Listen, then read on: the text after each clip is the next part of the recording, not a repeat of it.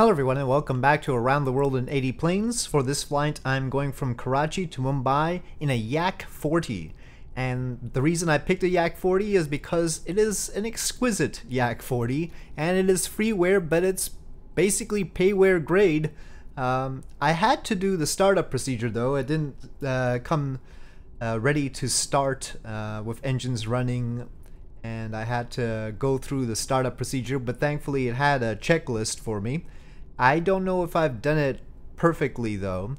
Thankfully there was an English language patch for everything so you can see start on ground on the side there and uh, English labels. Uh, originally the plane did not have English labels, it was all in Russian. And so, yeah, we'll see how well I did that. There's all sorts of stuff like these uh, additional panels like the breakers. Um, you can see English labels, but uh, again, um, if you don't have the English language patch, it's it's in Cyrillic. Uh, some of it's still in Cyrillic actually, if you take a look. And there's a ground service thing. There's a whole panel with different cameras, and uh, so you can see the cabin. And uh, there's a loading diagram. There's all this info and a slide rule and settings uh, I set real startup down, but it didn't seem to do anything for me. honestly, I tried to, I tried to get startup on its own, but no, I had to go through the checklist and actually look at a video on YouTube. Uh, thanks to the video from uh, Mayani, uh, M-A-E-Y-A-N-I-E, because otherwise I wouldn't have gotten through it. Actually, this version is slightly different than the version in that video. The checklist went a little bit differently. But anyway, it's got all sorts of stuff going on, and as you can see, the cockpit is really well done and all clickable. So yeah, we'll see if I've got it right. This is the exterior. Uh, the Yak 40 is an interesting plane, not a particularly fast plane, and it's gonna take a while to get to Mumbai from Karachi, more than an hour. Uh, the flaps are interesting. The flaps uh, don't obey my flap lever exactly the way I want it to. Uh, so I might have to control them manually, and the way you control them manually is actually this retract switch here. So I'll have to actually use that switch to bring them up. Anyway, um, flaps fail. I, I hope we haven't already busted the flaps on the ground.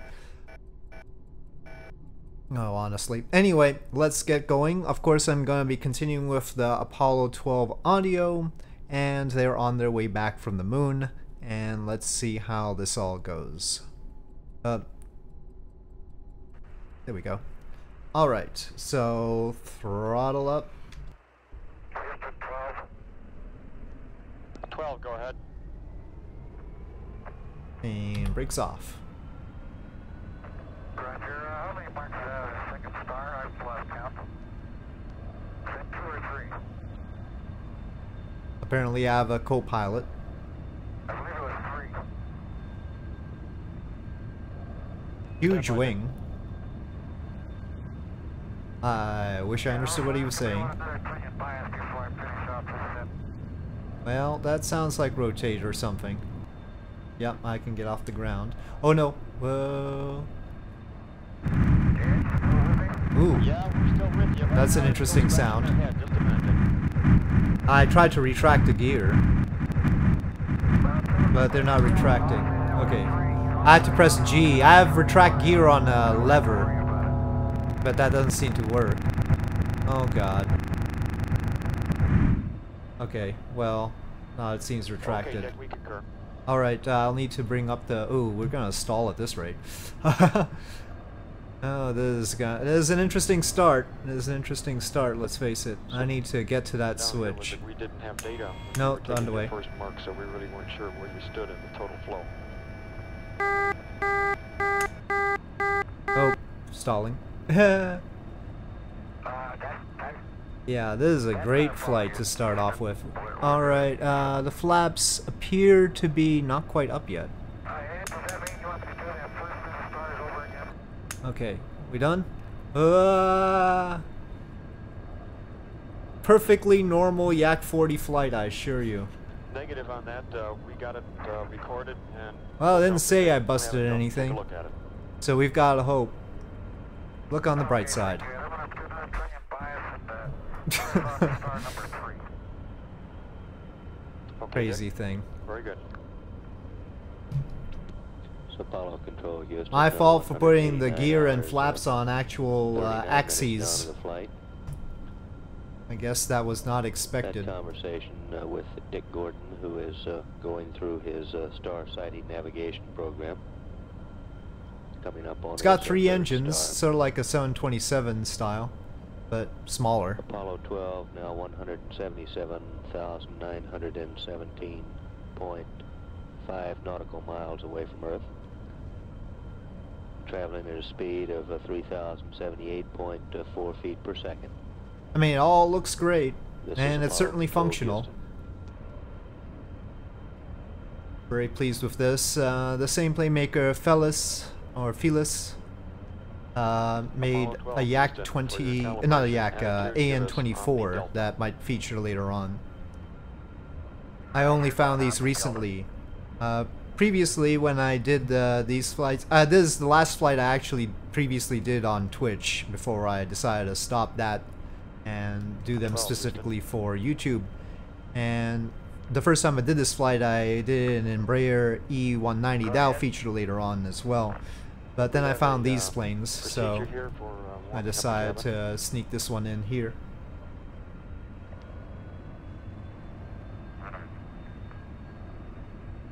Okay, take the uh, glycol evap temperature into manual and adjust the primary glycol evap in valve to obtain a temperature uh, of the glycol evaporator out of 55 degrees.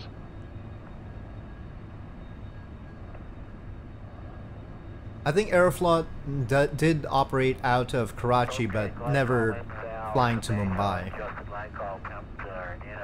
As far as I know. May- uh, maybe to Mumbai. I don't know. Roger.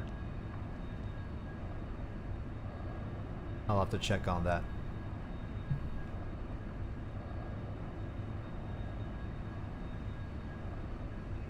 Uh, Pete, on that last uh, procedure, we want to adjust the evap temperature out to 55 degrees. I wonder how long it's gonna take me to get to 34,000 feet with this. If I can get there, let me take a look at the stats on it. Not sure what its uh, max altitude is. It's not Even though it's got little jets, it's not a very fast plane. It's minutes down to the 342 miles an hour top speed. Uh, Capcom Ed Gibson uh, passing along uh, procedures Mach for, uh, 0.7 only. warming the cabin slightly. Somewhat earlier, uh, Pete Conrad had uh, reported to mission The control. amount of time I took to start it up, I don't know how much fuel it has left. Probably guzzling fuel on the pad. Uh, on the, We're I say at, pad. uh, 189 on the apron. 46 minutes, and we presently show on our displays Service ceiling 26,000 feet. 177,697 nautical miles away from Earth and traveling at a velocity of uh, 3,082.9 feet per second. This is Apollo Control Houston.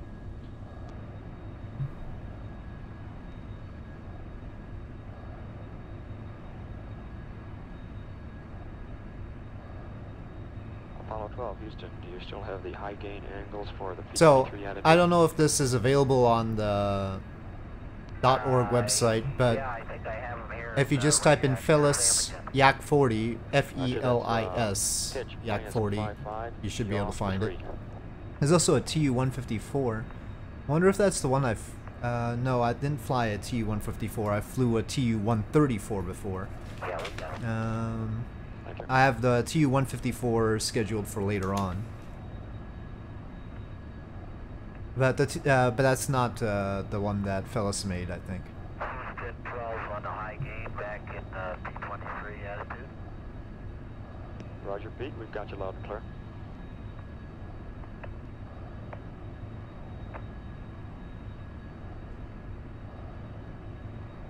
Say, Ed, you're getting pretty doggone good at this Capcom, aren't you?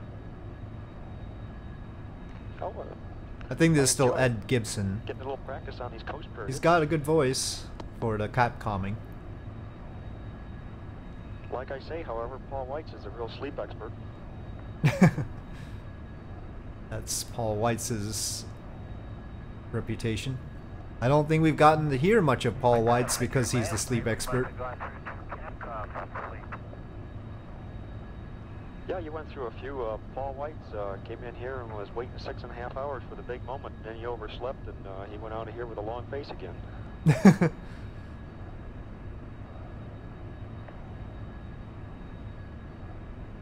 me turn up the volume on the. However, he's Hollow out for audio. an entry. He's assuming you're not going to be sleeping through that. I don't know if you guys can hear it properly. I don't think we will be.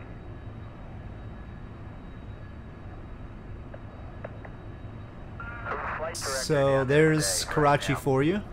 Pretty good view. Pete Frank. Oh. I, I thought it was Jerry. I let him listen to some of my music.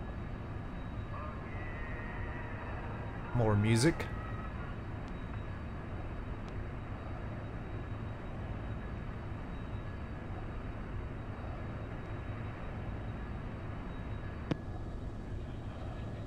Apollo Control Houston. The engines are three uh, AI-25 turbofans, uh, That was a rather casual 14.7 exchange between, uh, kilonewtons each. Spacecraft Commander Pete Conrad and capsule communicator Ed Gibson. You heard the reference to the sleep. Uh, Pete remarked, uh, considering the amount of time they slept, uh, he thought perhaps they had slept through at least 10 Capcoms. As you'll recall, they reported earlier some uh, 12 hours of sleep apiece. We presently show Apollo 12 Let me check the red lines on this one. 177,392.9 nautical miles from Earth. now Uh, traveling at uh, oh, okay. Thank you. Yeah, I was wondering. I was wondering. I was wondering. I was wondering. This is Apollo Control Houston. Okay. Uh, 240 seems okay. Knots, I mean. Okay, well, yeah, I figured it was around there somewhere. 12. 12 Houston, go ahead. Once I get the startup procedure down properly, I will be glad to switch to the Cyrillic copy your optic cockpit instead. Copy. Yeah, any suggestions? Back to zero optics.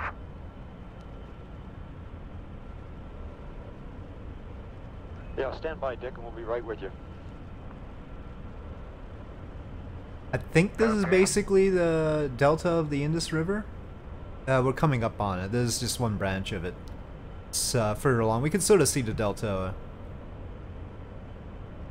up Dick, ahead. Uh, would you take the optic switch to zero and wait 30 seconds?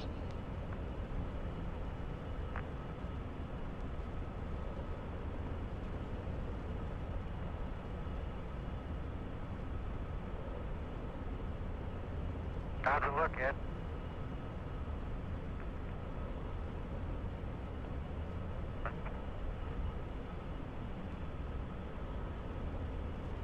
Stand by, Dick. Uh, we're still looking at it.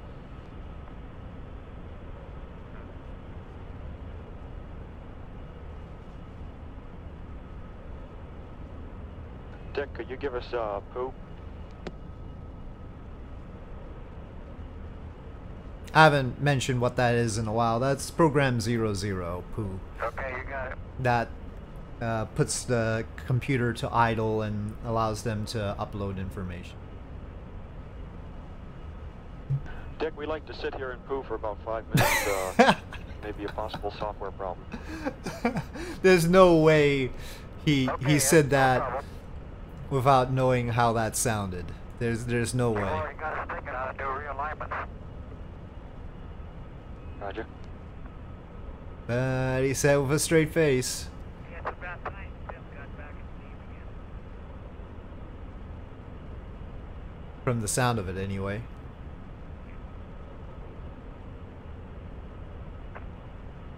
Pete, you were way down in the noise level there. Uh, would you say again? I don't think you want to hear it. Sounded too good to miss. I just said that I just said that it sounds like Sim is getting back in the game again.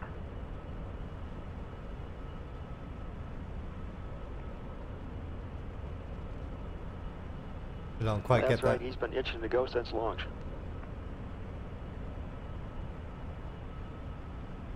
I'll bet he has. Since after launch, huh? That's right. About a minute after launch.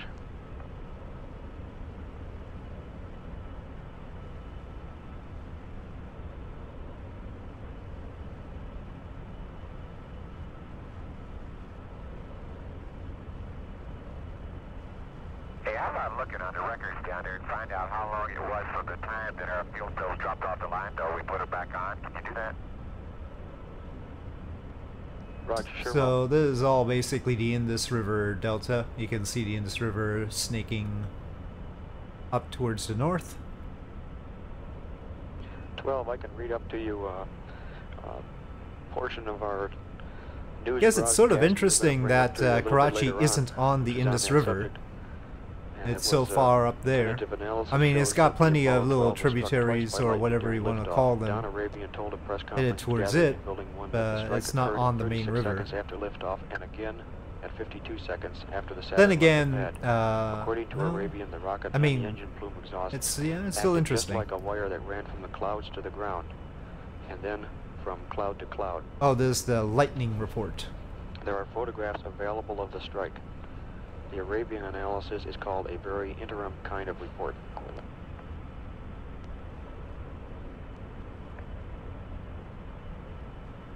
Hey, that's great. We're sure looking forward to seeing those. We saw it from inside, but we sure like to see it from outside the next time. Dear Senate.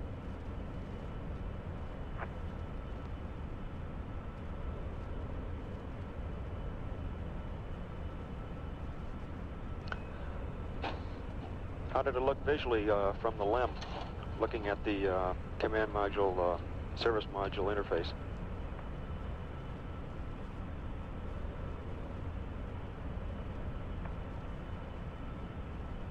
Well, we've been discussing that subject, and I guess you ought to go look at some photographs of CSMs that have had lamps on the nose and make sure that it's not some uh, uh, lamp fire. I feel like the shader on the plane is sort of appropriate for the 80s right now. It's got sort of a classic look to it.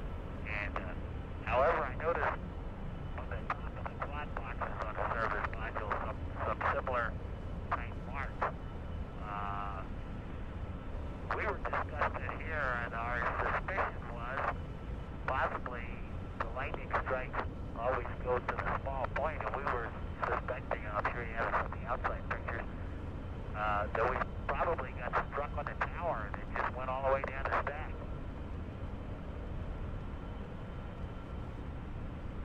Roger, Pete.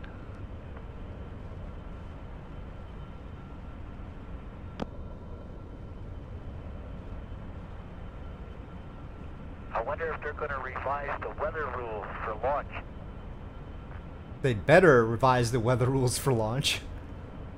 After the thing got struck by lightning. I guess lightning. they're looking at it. Uh, what's been said so far under identical conditions with an identical spacecraft, you wouldn't do it over again. no kidding. These three guys, what? Yeah, you left out one item, the crew. I guess we hold the world's record now as the world's fastest lightning rod. World's fastest lightning rod. The world's tallest. That too.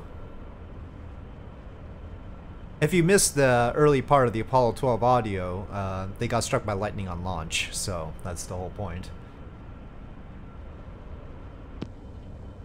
Apollo Control, uh, Houston, that was Pete Conrad saying, I guess we hold the world's record now as the world's fastest lightning rod.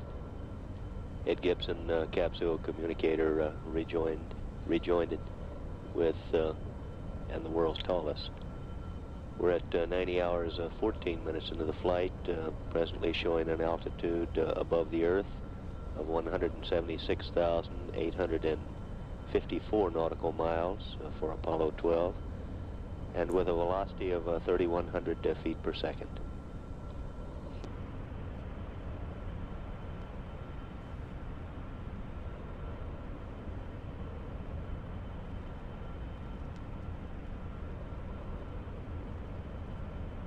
Hello, Al Houston. Lena has very visible uh, reversers on the center engine, but not so Go much ahead. on the side ones. Okay, on your request before, we showed that uh, at 36 seconds, the three fuel cells went off. At 1 plus 4, 2, two fuel cells were online, and at 1 plus 7, 0, or I'm sorry, that's 142 seconds, two fuel cells were online, and at 170 seconds, uh, the third one came on.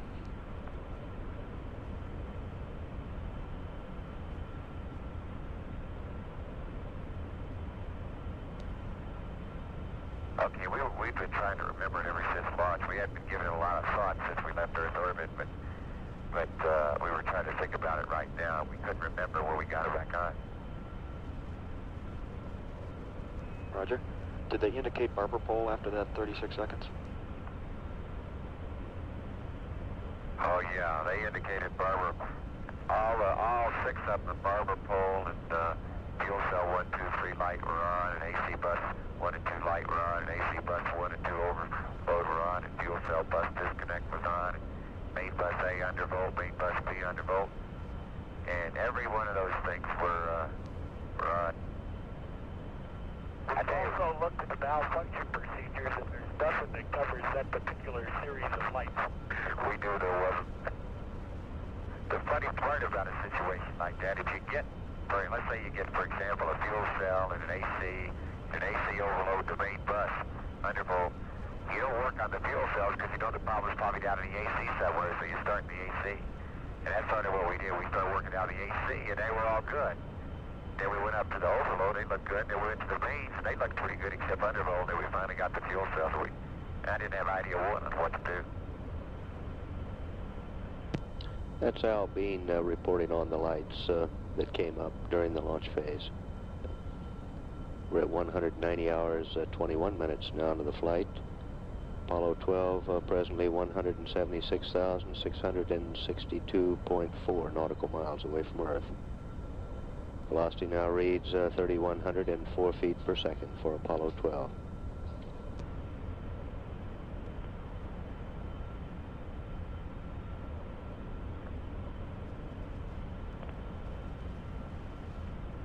Apollo 12, Houston. We're looking at a middle gimbal angle down here of about 58 degrees. We're approaching the border between Pakistan and India. As soon as we reach that island in front of us, we will be in India.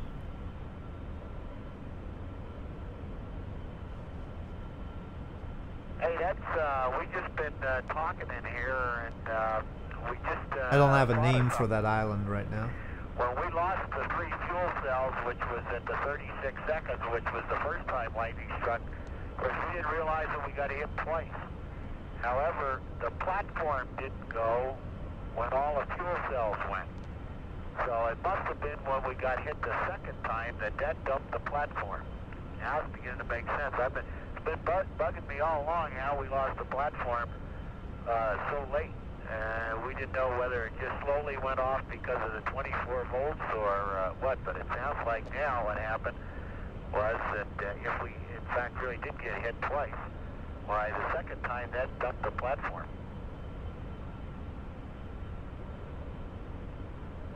Yeah, that may be. They've been looking over all the traces down here and uh, talking to all the lightning experts, and uh, I think they have some tentative ideas on that. They'll probably be uh, able to give you uh, some pretty concrete discussion on it when you get back. Apollo Control Houston, uh, 190 hours, 25 minutes. That was uh, Ed Gibson uh, conversing with Pete Conrad. Apollo 12 now 176,518 nautical miles away from home and traveling at a velocity of uh, 3,107 feet per second.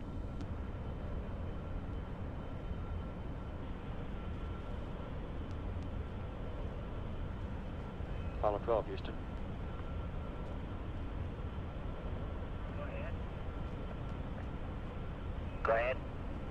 Okay, uh, two things. Uh, first of all, I did confirm that you lost the platform at uh, 56. Uh, It is quite an intricate island. Look at all those strike. streams. and also on the uh, optics problem, Bit of a swampy Uh, place, I We suppose. suspect that it may be due to operating the optic switch at the same time as Verb 37. Uh, we'll be coming up to you with some DSKY entries to check this. Uh, I don't know what to call that Okay. except for fractal. That's very fractal.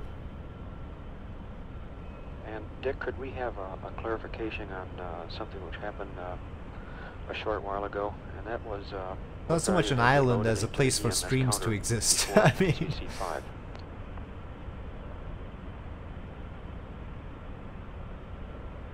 Uh, 2.0. uh, no visible much bias in that settlements. thing, It almost counts up. There's so much bias in there, it almost counts up as fast as it's counting down. Roger.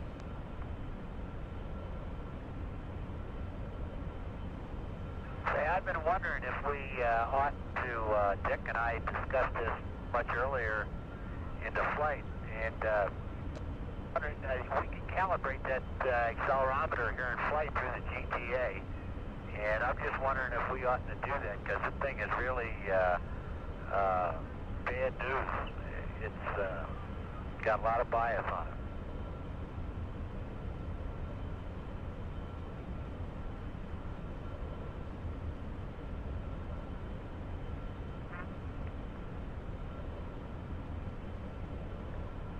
Maybe the GTA doesn't work in flight, I don't know, but uh, we ought to see whether we can get that bias out of the EMS. Pete, one thing which uh, we're suggesting down here is to uh, load in 102 or 100 and whatever it is and uh, fly with that. That should It help. it. the same thing. No, it doesn't either. It does exactly the same thing.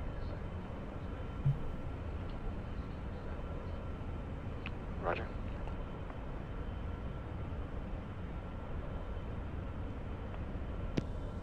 The uh, EMS they're talking about there is the entry uh, monitoring system. We're at uh, 190 hours, uh, 30 minutes now into the flight of Apollo 12.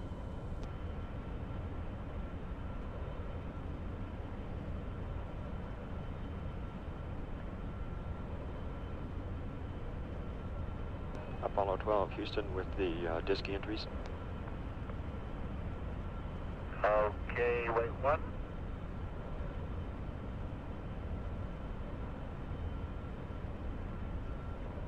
I mean, these islands, sediment is just flowing out of them.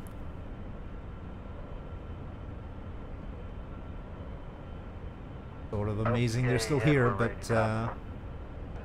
Okay, what we're doing here is setting the optic status word or op modes Yep. to a known configuration.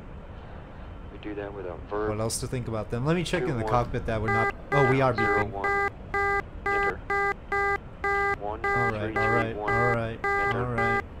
One, Uh, 230 Enter. then, let's say. And then if you would, I said 240 earlier, but off, Fine, 230 on. then. and we'll be watching it down here and uh, Hmm. stand by.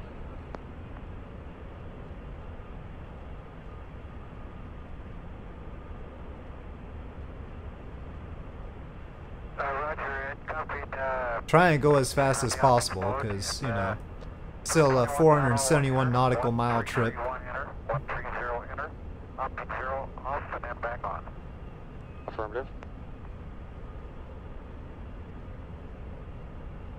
I guess limitations are limitations. I Guess a lot of islands must look like that.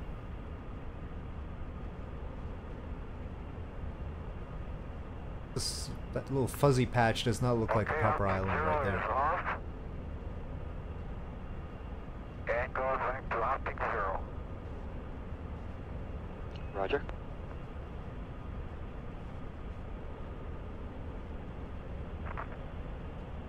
So, welcome to India. Still got a little bit of a ways to Mumbai though. Apollo 12, Houston, uh, that looks as though it cleared the problem. We're ready to go on with the P-23s.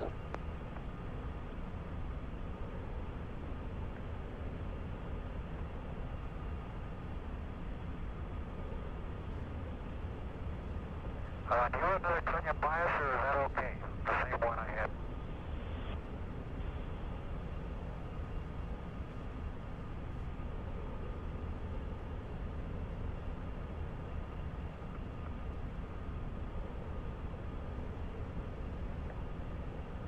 Stand by, Dick.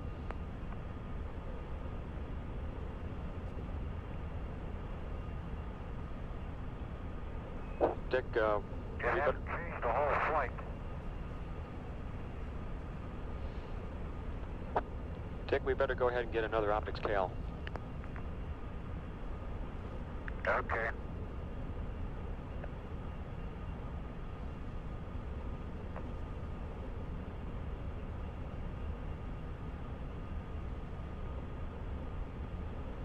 Dick, uh, go ahead and scratch the optics cal.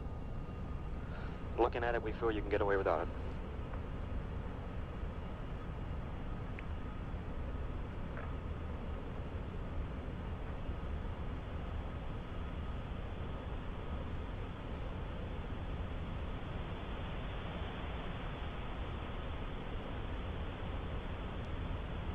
Apollo Control Houston. Um, Dick Gordon now returning to uh, program uh, 23, his uh, navigational star sighting program. What they were doing there were through known DSKY displays, calibrating the optics. An earlier suspect was that the that by operating the optic switch simultaneously with hitting uh, verb 37 on his keyboard uh, made the optics uh, think it should be in zero. We're at uh, 190 hours, uh, 37 minutes now into the flight. We presently show the spacecraft Apollo 12 at a, an altitude above the Earth of 176,169 nautical miles and returning home at the present time at a velocity of uh, 3,114 feet per second. This is Apollo Control Houston.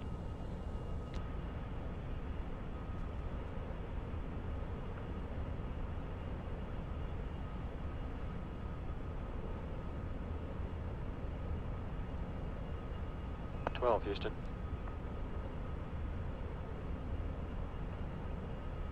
Go ahead. Okay, clarification on uh, that optics problem. Uh, It doesn't you, seem like uh, there are too many go to large cities zero around and hit uh, verb this area. Before uh, uh, 15 seconds have elapsed, you can run into the problem that you did. This is the coastal area of Okay, we Gujarat. understand. Thank you. I think there are some down the way. Yeah, Dick says that's exactly what he did by mistake. He says from ignorance. And 12, one thing on the uh, your gas separator, we'd like to uh, try and see how well that thing is working. Uh, you can go ahead and remove the gas separator cartridges and run on the H2 separator only. The nice barrier islands and, uh, up ahead. continue on that way unless uh, it's not doing the job, and then you can go back to your normal configuration. Well, let me tell you what we've done any, uh, already. We've been running our uh, food system without the cartridge, and uh, we've been running the gun with the cartridge for the whole flight. And uh, the cold water uh, output is uh, very, very good on the food system. The hot water output still has a tendency to get some air in it, but I kind of suspect that, that there's just a little, little air or hydrogen or whatever it is in the in the water, and when you heat the water, It's interesting, the coastline And, we'll go behind us is very rugged. cartridge off the gun and operate without But the coastline ahead of us, we have that very cartridge on the smooth. gun the whole time. It's a pretty straight beach okay, right thank you, there. Pete. And also, uh, if we could go ahead and pick up some uh, bio data on uh, Dick Very and Al, interesting contrast. uh, during the course of the day, we'd appreciate it. Okay, I'll have to hook up.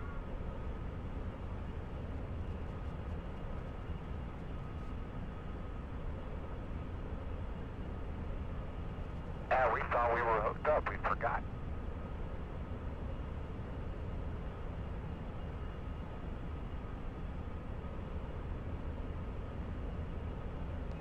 Rog Surgeon is looking at you now.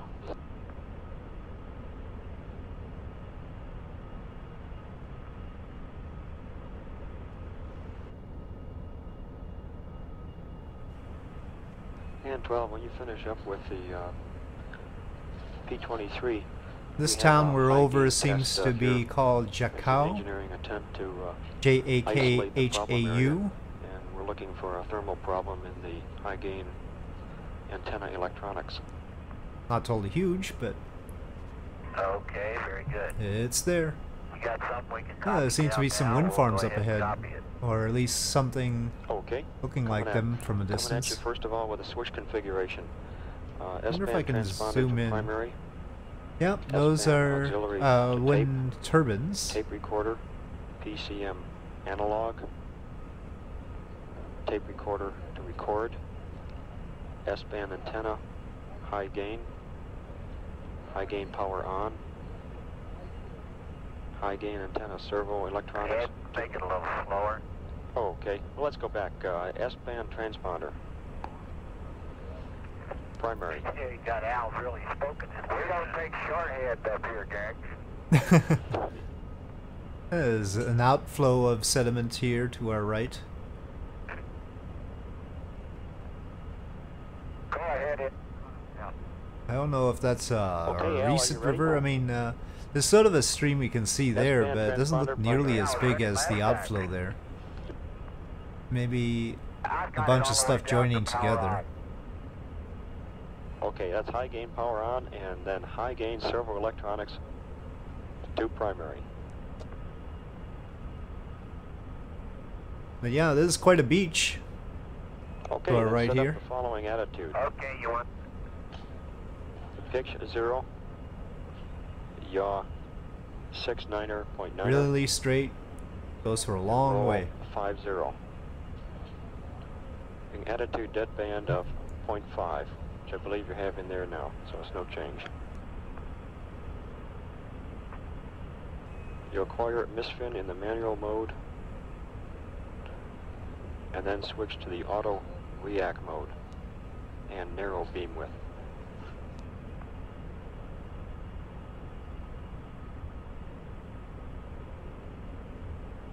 High gain angles for manual acquis- acquisition are minus 2-2 on pitch and yaw 1 niner 4.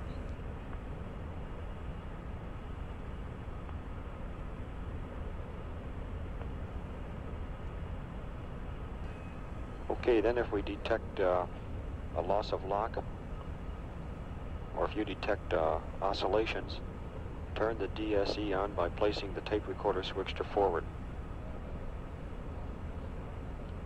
And go, ahead and get data for five minutes and then stop the recorder.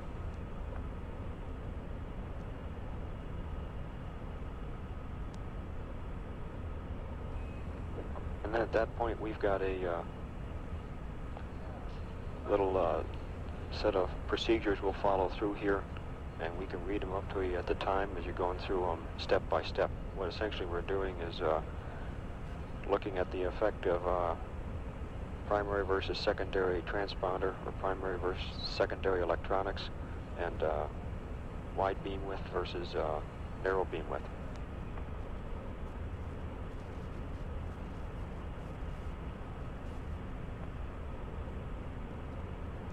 Okay, I understand now that you want the transponder primary. Uh, Al, could you hold it a minute? S-band aux tape switch. Sure. Okay, we'd like you to uh, go ahead and get that optics cal now that you're finished with the P-23.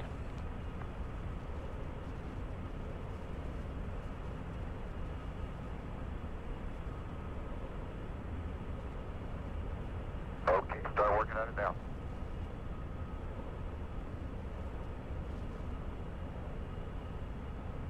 Okay, Al, go ahead with your readback.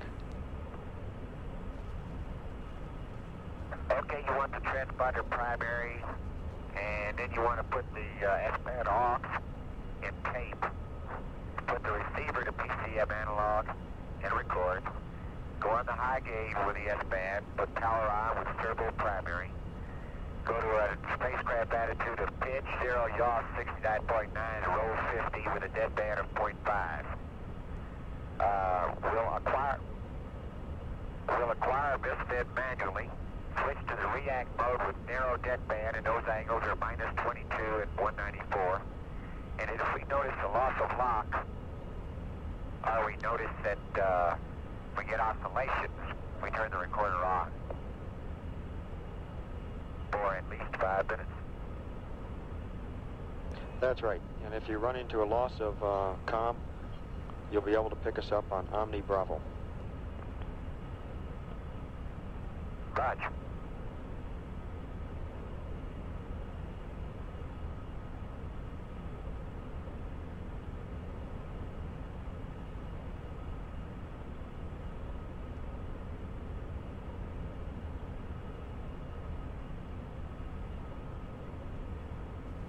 Uh, Houston Apollo 12.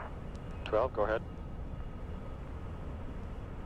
Hey, Ed, uh, on this uh, Bobby scale, this maneuver, as you people down there on the ground are obviously noticing, is quite a ways away from those attitudes where we're doing the uh, P-23 themselves.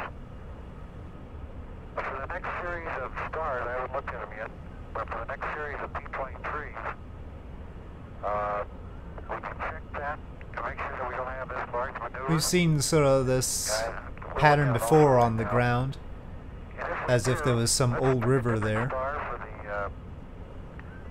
for the, for the optics cal. We don't need a That sort of changed course We can use or almost any star we got something to create those lighter stripes Okay, Dick, we that for all purposes seem like the branches of a river. that request. It's a good idea. We'll be doing that. Maybe the angles are such with the sun that we don't have one, but, but I think you can give me one uh, near the P-23 Well, there's a attitude river here that now. I can use for a, a uh, front-end bias or optics cal. If not, I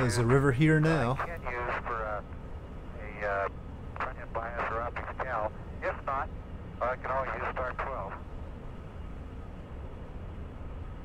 Raj, we concur with that down here. We'll be doing that for you, Dick.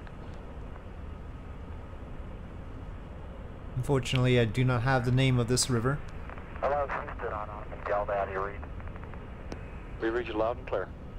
Up ahead is uh, a city called Mandvi. Okay, got the DSKY, uh, there's his first optics cal. and that's also on the river. Raj, we're looking at it.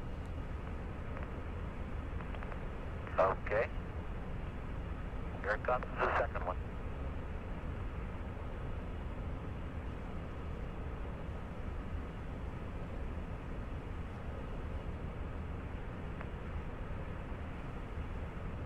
There it is.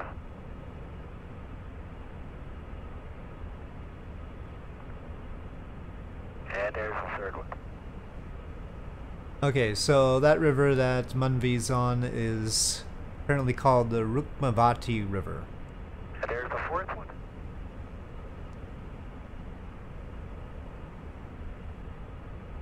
But there are a lot of rivers around here. Okay, Ed, that's it. Okay, that looks good. Thank you. As you might expect from a place that could support a large population.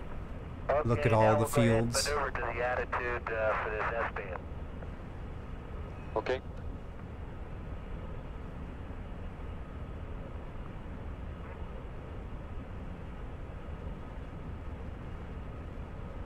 Twelve, Houston. Go ahead. Those uh, sightings look pretty good. You uh, you had a good state vector in there, and the sightings uh, essentially uh, changed it so your, your reentry angle changed by uh, just 0.035 degrees. Okay. We're about to head over the Gulf of Kutch. K U T C H. Apollo Control Houston at 191 Headed hours vaguely towards a city flight. called Jamnagar.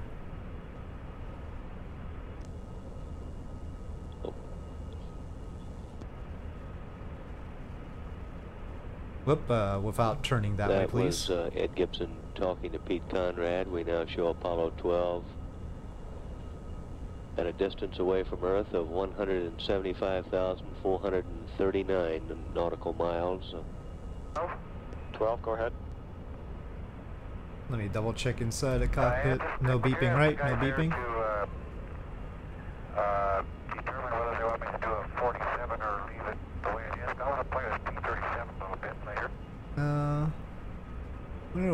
fuel dials are.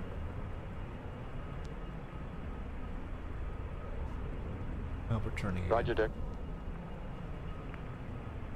I, what I'd like to do uh, is go ahead and leave the state vector in there that I've got and see if I can improve on it with the next series of marks. Dick, we concur. That sounds good. Go ahead and do it that way. Thank you. And Dick, when you like, uh, we could take a look on uh, at your next set of P23s on page uh, 3-173 and uh, look at your second optics cal.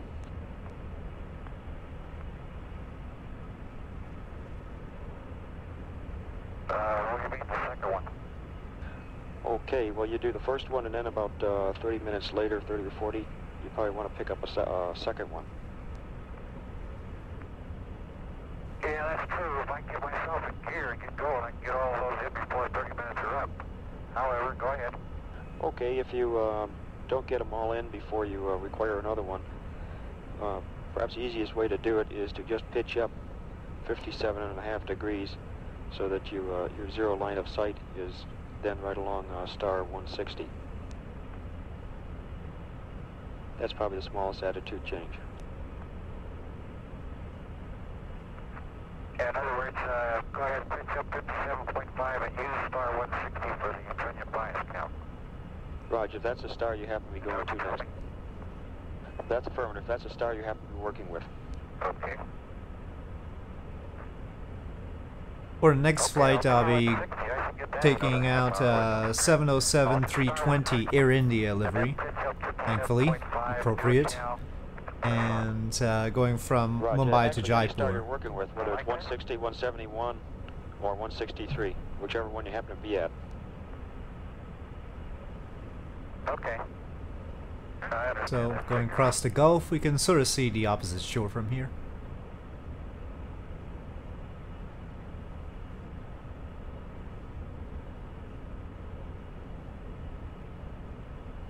Uh, Houston 12. 12, go ahead.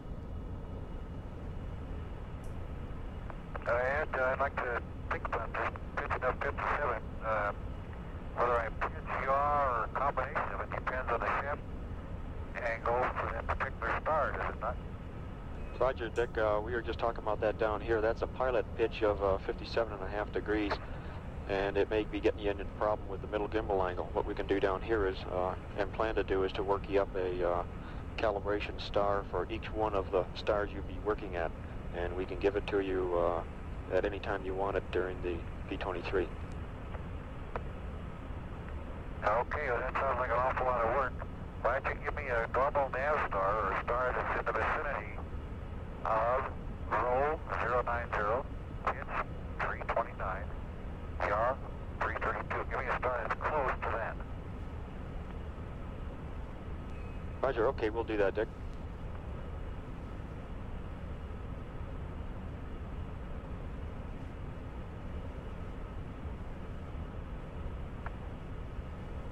Twelve, Houston, uh, could you uh, go on back to balance couples now?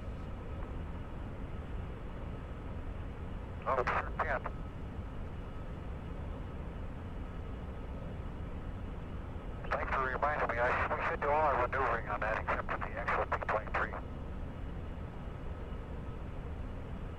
And we really intend to. Roger, Dick, that makes it a little easier to keep track of, to make sure we got a good state vector for you. Right, I understand all the problems, but just during the marking I'll want to be in the unbalance, but all our maneuvers should be with balance couples, I agree. Vehicle is a little sensitive right now, isn't? It sure is if you have two jet minimum impulse.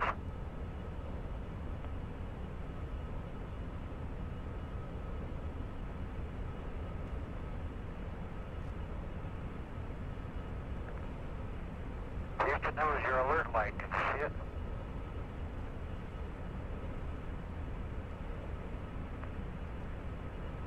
I'm trying to get a little bit closer to Jamnagar. Stand by, 12. Can't really get to the largest city in this area, Rajkot. Follow call, That's a little bit out of our way, so Apollo 12, Houston. Uh, go ahead. Did you get your crew alert light down there?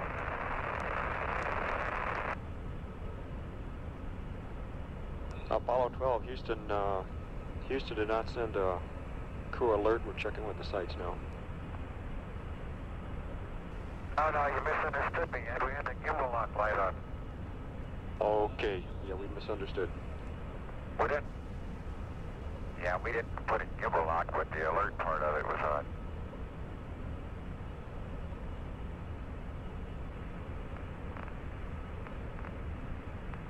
Apollo 12, Houston. Uh, we would expect that light, and you're still about 15 degrees away from getting into, into a problem. But yeah, we're watching it, but we got another problem here. Look at her attitude. I got a 5018 and I can't maneuver automatically away from this thing.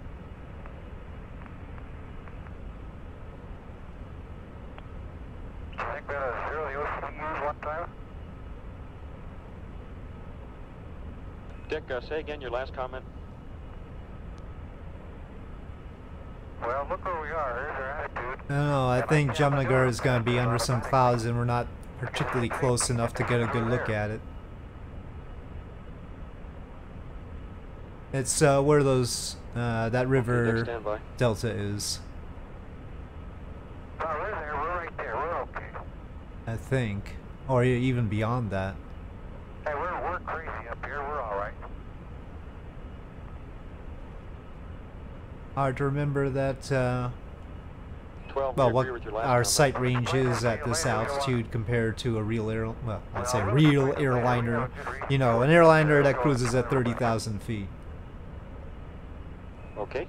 Didn't get quite close enough, but we gotta. No, we agree with the last comment, not the first one. Gotta focus on our destination here. There's some facilities down here. Apollo 12, Houston. Go ahead. We got the folks down here thinking about the difference between a uh, 5018 and a 618. Are you thinking about the same thing? No, uh, we were just dumped up sitting here looking at 69 degrees of yaw, which is sitting right next to gimbal lock and zero pitch and wondering why we were sitting there and it wasn't maneuvering when we were really in the right place, that's all. Roger, We're just 12. not used to sitting in an attitude like this where we're looking at a red ball. Hey, Ed, I have a feeling we're telling you too much and you're all getting nervous down there.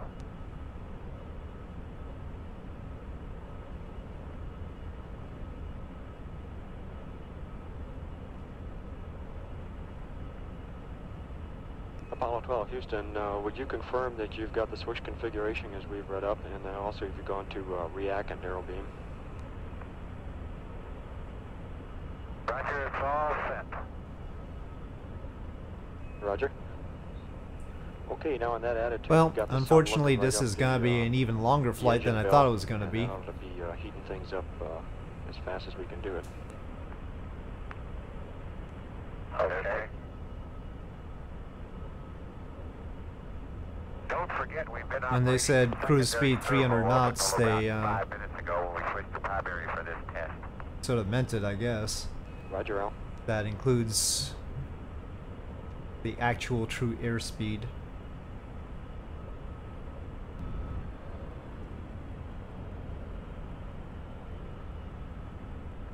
Apollo 12, Houston, uh, we see Supposed to no be 550 kilometers per hour. We're at uh, 538. recorder- Or S-band aux is to tape. Probably get a little bit more juice in. Thank you. How about a reset? How about a reset, yeah. I mean, we're more than halfway there, but still. Roger. Barely more than halfway there. The flap's still a little bit down. No. Shading. 12, Houston, we have the subcarrier now. What we're going to be doing now is uh, just sitting here and seeing if the problem will appear. And we're looking for a, uh, a 6 degree uh, decibel dropping signal or uh, you report a hunting uh, in the antenna. Okay.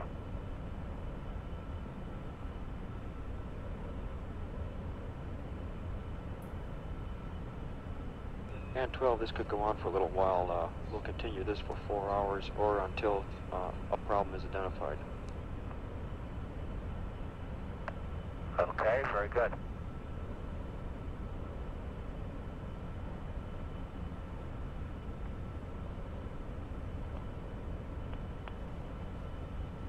Apollo 12 Houston, uh, while you're sitting there backed up to the fire, we have some news for you if you like. Go ahead, Ed. Okay, 12, there's some pretty good football games on tap for today in the college ranks. I was wondering when they would Ohio get to State the and news, Michigan tangle in a Big Ten game. and The the only important favored to win news being the sports. rating. If Ohio State does win and retain its number one ranking, it will be the sixth time in modern football history that a team has won the title two years in a row. In other games, UCLA is favored over Southern Cal. Purdue is favored over Indiana. Oklahoma is a choice over Nebraska. And TCU should beat Rice. Princeton plays Dartmouth, and Washington meets Washington State, and we're not guessing on the outcome of any of those. Texas University is open, and they're looking towards Texas A&M on Thanksgiving. Houston uh, is picked over a tough Wyoming team. We'll keep you posted on the games uh, that are going on this afternoon.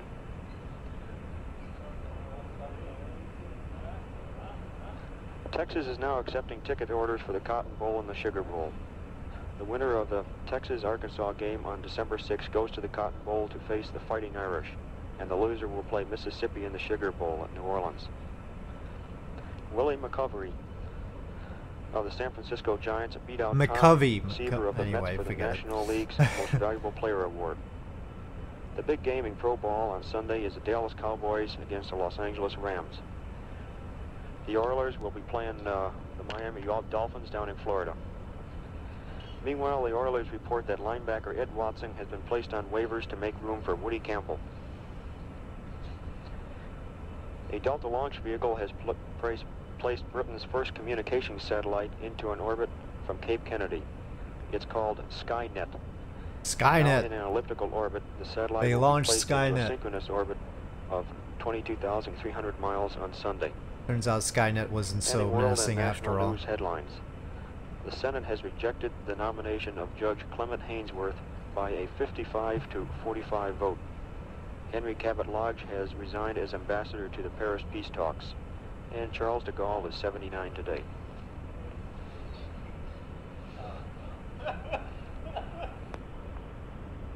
That was some raucous laughter in the background there. All three Apollo 12 wives wowed the news media yesterday as they paraded out of the Conrad House in stunning white suit pants. They each carried a sign which said, proud, thrilled, and happy. Family activity will be rather restricted this weekend.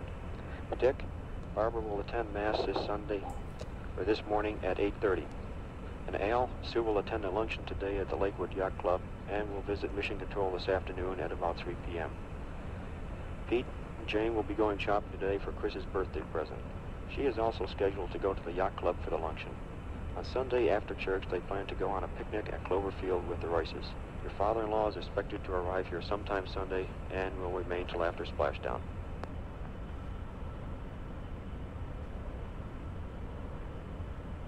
Hi, kid. You're welcome. Thanks kindly tell those Huskies get after those Cougars today.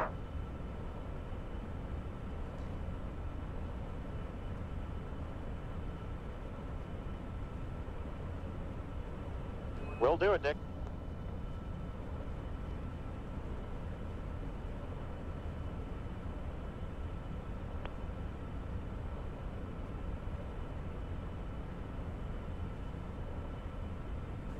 And 12, it's been about uh, five hours now since you started accelerating back towards the Earth.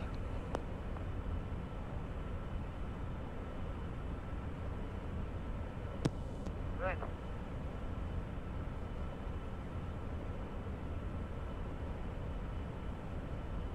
It's Apollo Houston at uh, 191 hours, uh, 33 minutes. Ed, and I have us at uh, 15.2 97 degrees north and uh, 91.62 degrees east. Well, lots of little uh, Roger, wind turbines down there.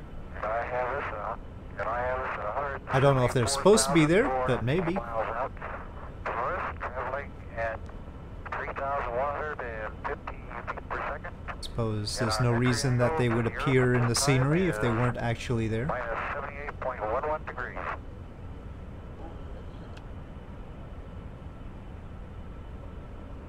Dick, that sounds good. They're all right on. I do not have a firm grasp on the particulars of the power situation in various areas of India, Houston, so uh, that was Dick Gordon uh, just reporting have our take the scenery's word for it. distance from Earth and velocity. The uh, reference Ed Gibson made as he, just prior to reading up the news, uh, the reference to backed up to the fire refers to the attitude uh, which the spacecraft is currently in, which puts the uh, service propulsion system engine bell uh, toward the sun. They're in this attitude uh, running a, a test on the communications system between the spacecraft and the ground. Uh, these procedures uh, being passed up a short while ago to them. We're at uh, 191 hours, uh, 35 minutes into the flight, and this is Apollo Control Houston.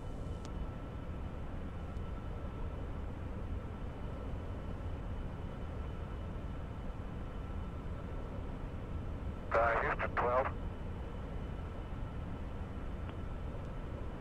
12 Sort Houston, go of ahead. interesting how different stuff on Google Maps Uh, looks. and, uh, we'd like to have you keep making it hard for me to get uh, we have done at GDC a sense of exactly which Uh, river that is, for instance. Got this attitude. Again, there are a lot of rivers around Uh, here. wish you would remind us to review our angles on the GDC. This thing's been drifting pretty badly in yaw the whole flight. Some very close to each other. I think pretty close to 10 degrees an hour in yaw.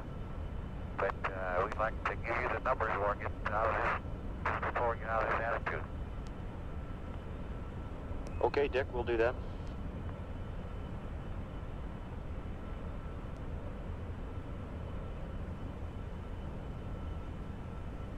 Oh, I see some mountains up ahead in the mist. Apollo 12 Houston with some news on how your ALSEP is doing.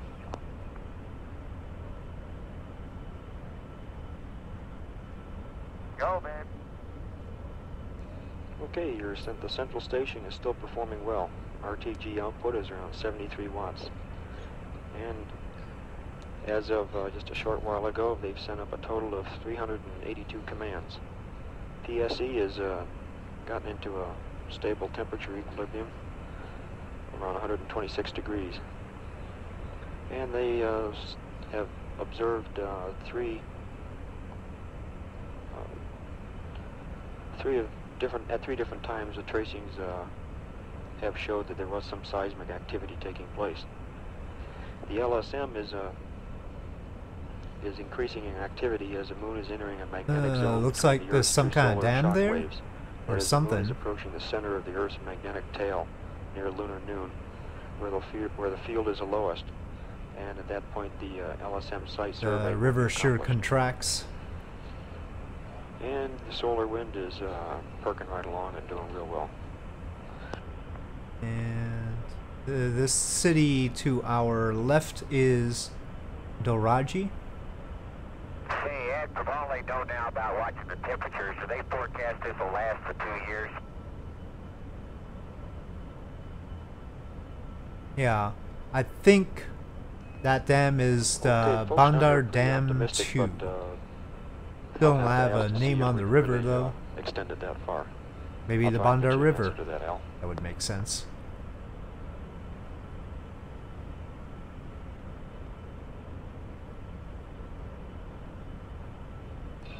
And 12, Houston, uh, the folks down here have thought a little bit about your two EVAs, uh, especially the geology involved, and have a few questions uh, which were stimulated by what you said during the EVAs and after it. And any time that you'd like to have a discussion of those questions, uh, we're sitting here waiting for you.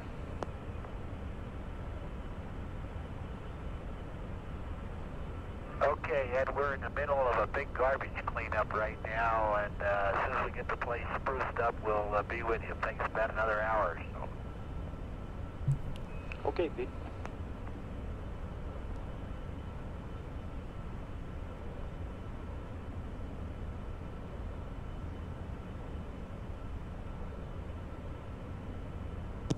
Apollo Control Houston, uh, we're presently at uh, 191 hours, uh, 48 minutes into the flight. And now show Apollo 12 City up at, ahead uh, is Junagadh. 174,000, uh, 29.8 nautical miles out from Earth. And those mountains are part of some. Coming in now at uh, Park, I suppose. 3,159 feet per second. We'll At least there's the a green area on the map. Continue to monitor any conversations as uh, they develop. That was uh, Ed Gibson passing along the news of Alsep uh, to These cities aren't particularly small cities. They're not huge, but still, is here Houston. is 320,000 in 2011, so it's probably more now.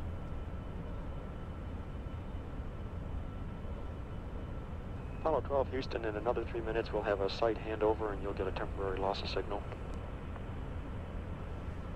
Okay. This seems like uh, would have been volcanic. I don't know for sure though. Houston 12. It's just a very definite ring. Seems like, 12, go ahead. But could be something else. completed our little swoop down there, and uh, we're ready for your questions. Okay, Pete, we'll be with you in just a minute.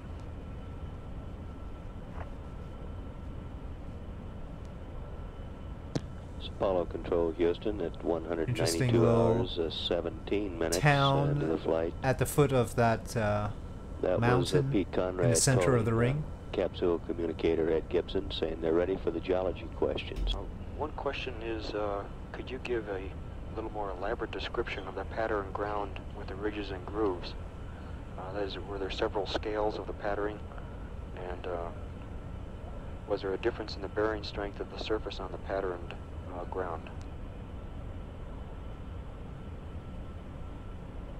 Uh, you're you're referring to the uh, things that look like uh, streaks, and uh, that we talked about that uh, were in different directions also, that the LM, uh, so that they weren't effects of the LM exhaust plume. Is that what you're talking about?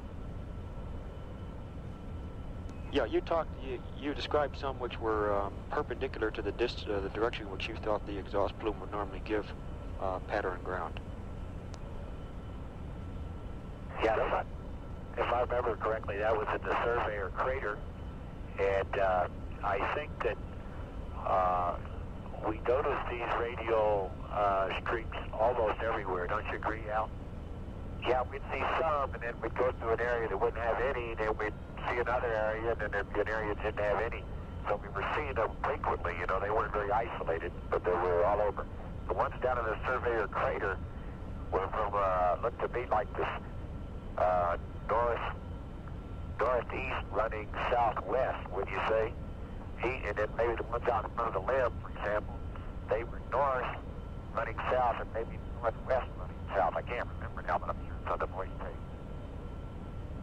The size, as I recall Peter may recall them differently. It's hard to remember, but some of these things, they look to me like they were about I sort of have a choice inch to a coming up. sixteenth of an inch. Whether I make a beeline to Mumbai and uh, fly over a whole lot of water, or whether I try and hug the coast a little bit more. But I think I'll go straight 16th of an there. But it's gonna be a long stretch of just water. And then maybe then they were about three eighths of an inch between uh, little uh, hills, something like that would be my guess.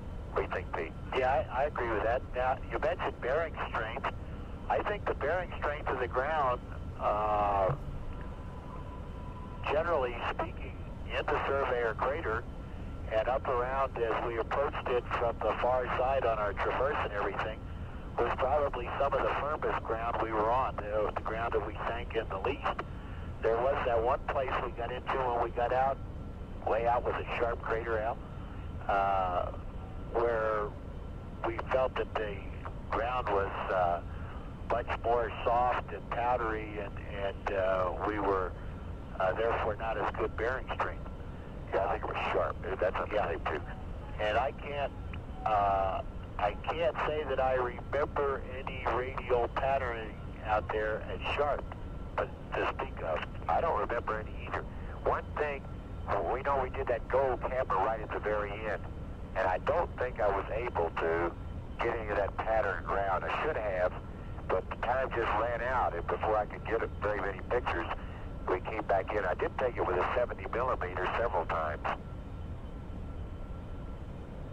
Well, Roger, uh, over what extent did that pattern ground uh, occur, and can you relate it to anything that you've seen back here? Uh, interesting sort of cross hatching on some of these hills.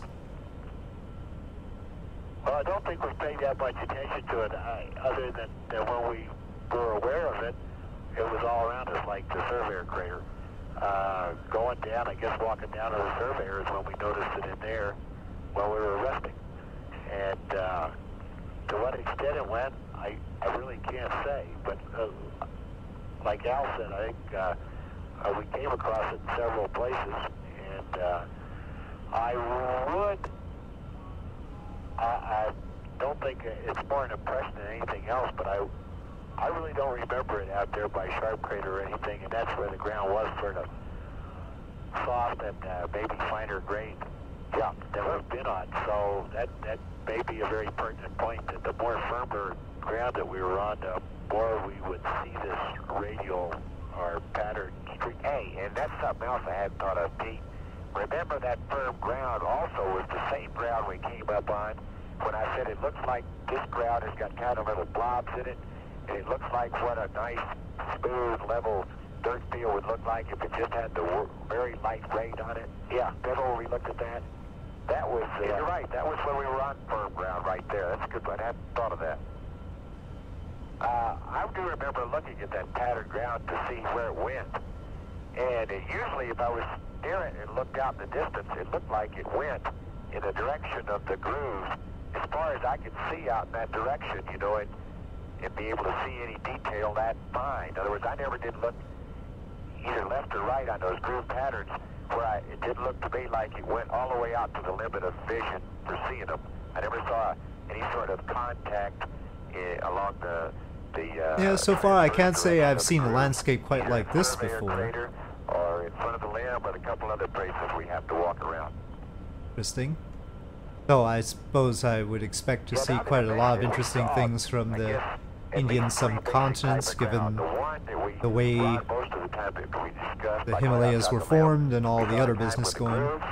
We saw the kind with the Interesting little, like raindrops on it. sort of area. We got pictures of all the different kinds, and then we uh, we saw some more finely powdered ground, like out around Sharp Crater, and then we saw some more finely powdered, like just down on the inside of the small craters, and some to some extent on the inside of. Uh, I tried to start the flight fairly early, but it took me quite a while to figure out how to start the plane. so all had the same color. Boy, there it's getting a little bit darker. than- than the I wasn't intending to fly close to sunset, but here we are.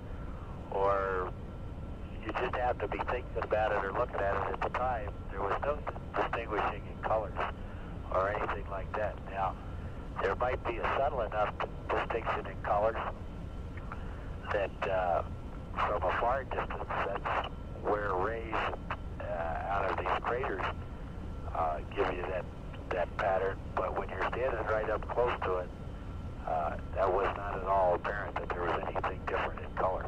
Yeah, that color is so deceptive. I can recall now looking at all the material around the LM the first day we were out and just making some comments. I don't recall what I said, probably more gray brown or gray, gray white. The second day I was out, the very same places, and I wasn't really aware of it at the time, I kept talking about them being light brown.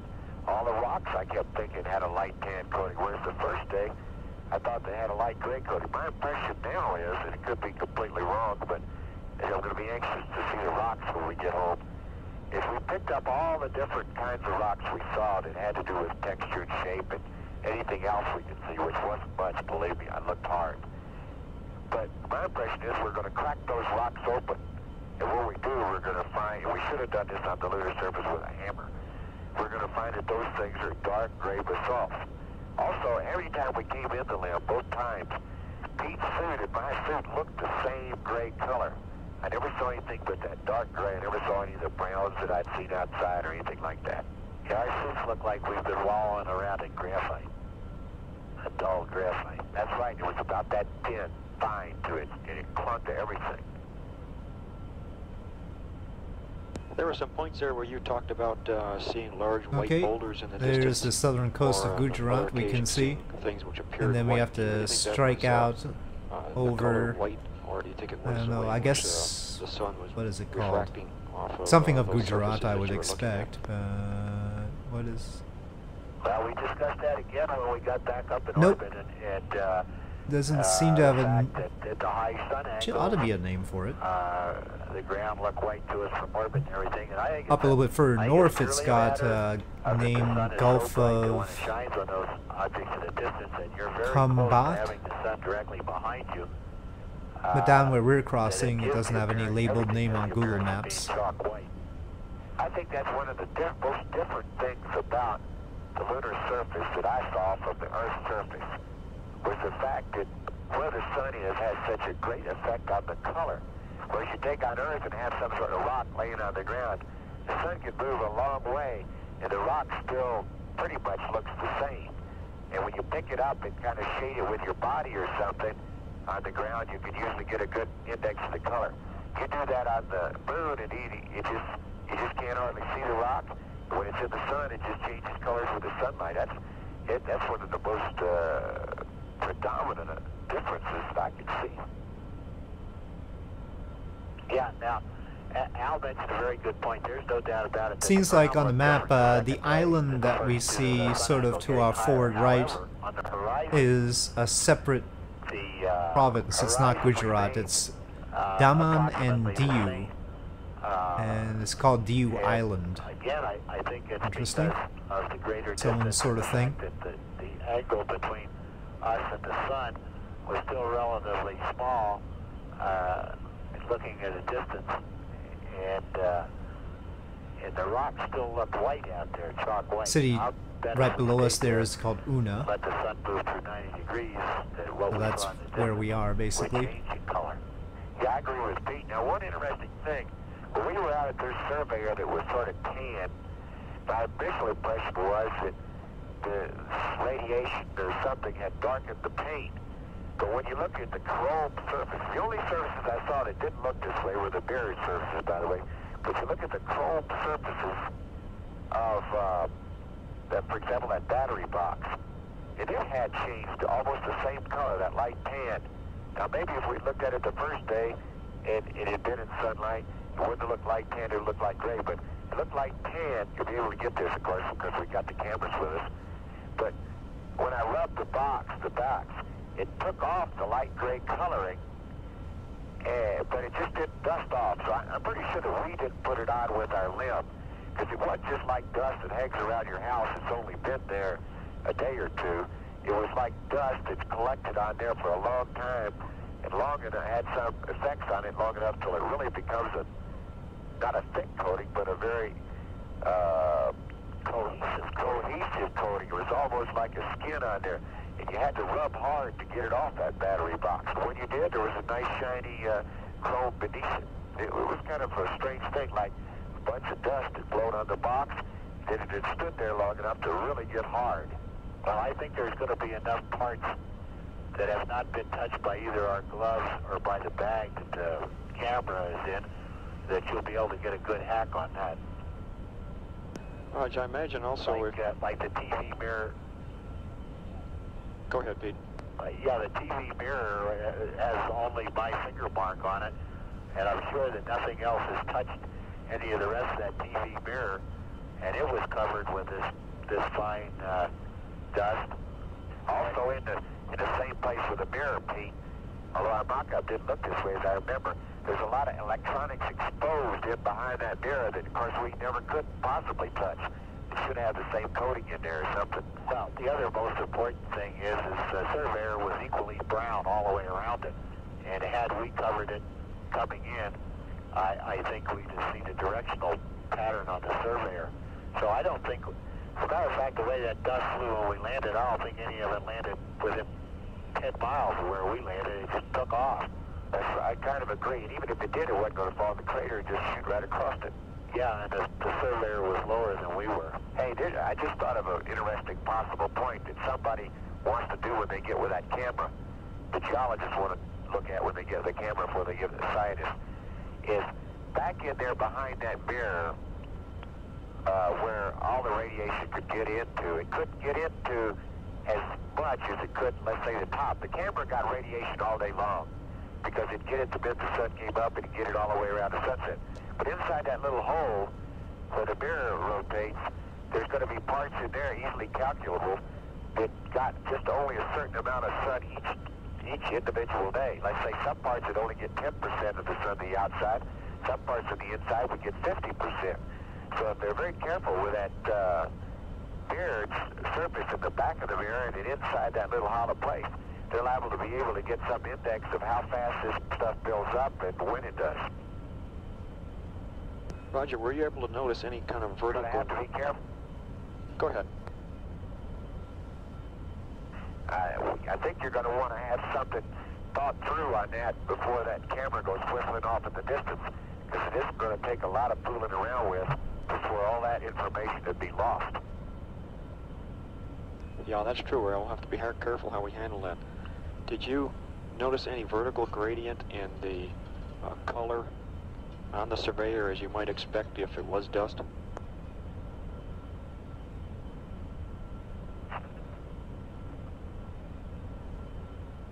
Uh, no, it, it was pretty well uniform all the way over.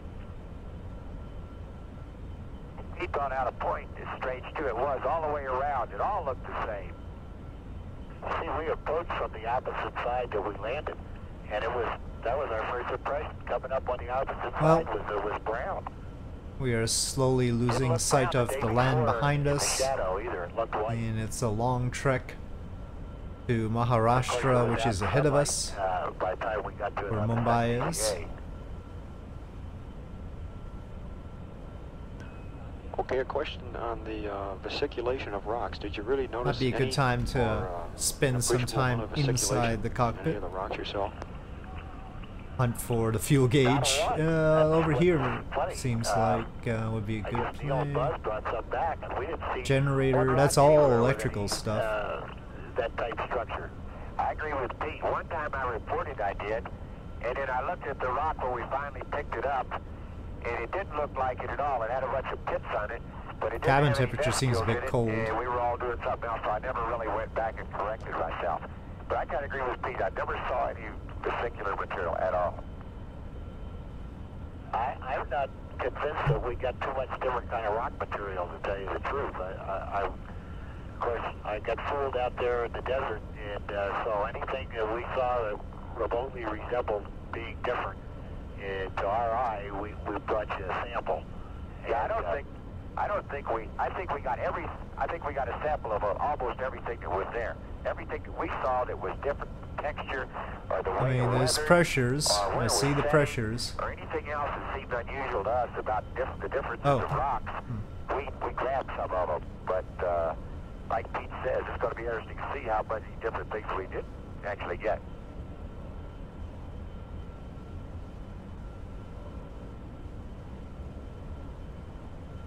Information might be behind the steering column, Pete, now but were able to I haven't any, figured uh, out how to get rid of the. which appeared to be boulder tracks on the head crater or any of the other craters, similar to the type of tracks you saw after you rolled that one rock down? Done. Done that, uh, well, let me, let me say this. I was, uh, without walking down, No, let's see about the info here, not uh, the slide rule. I was, I, I couldn't tell what kind of a track. Nope, that has the nothing to do with fuel. That I rolled down there to start with. Uh, however, I think we have enough pan photos. Oh, okay, okay, okay, okay, okay, okay. the- Yeah. Fine, fine. uh, Two- 220 then, that if there 220. are any boulder tracks, you're gonna be able to see 'em. Yeah, I think that's the best point right there. All right, took 220, enough, so fine. You're gonna find 'em. Okay. I don't remember seeing any myself, but I think also don't remember specifically looking for them. Yeah, usually when you see them, Now I remember why I'm not in like here. that, you'll remember it. But uh, maybe there's some around I just didn't even notice. Hey, let me uh, ask uh, We're pretty close to the service ceiling. Uh, That's supposed to be when we 26,000 feet.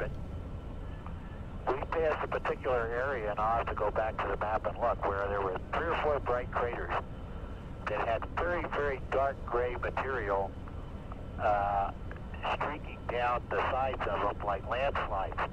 Now, we were aware of many places, but using the binocular of seeing landslide type or slide or I suppose all the craters all at all this point, either we have the fuel or we don't. But there were only these three or four craters that had very decided gray uh, slumps or streaks or something that almost gave me the impression uh, no point trying to figure that out, I of a guess. liquid spill or something. It was so different than anything else. Has anybody reported that, or have you seen them in your photographs from Earth uh, before?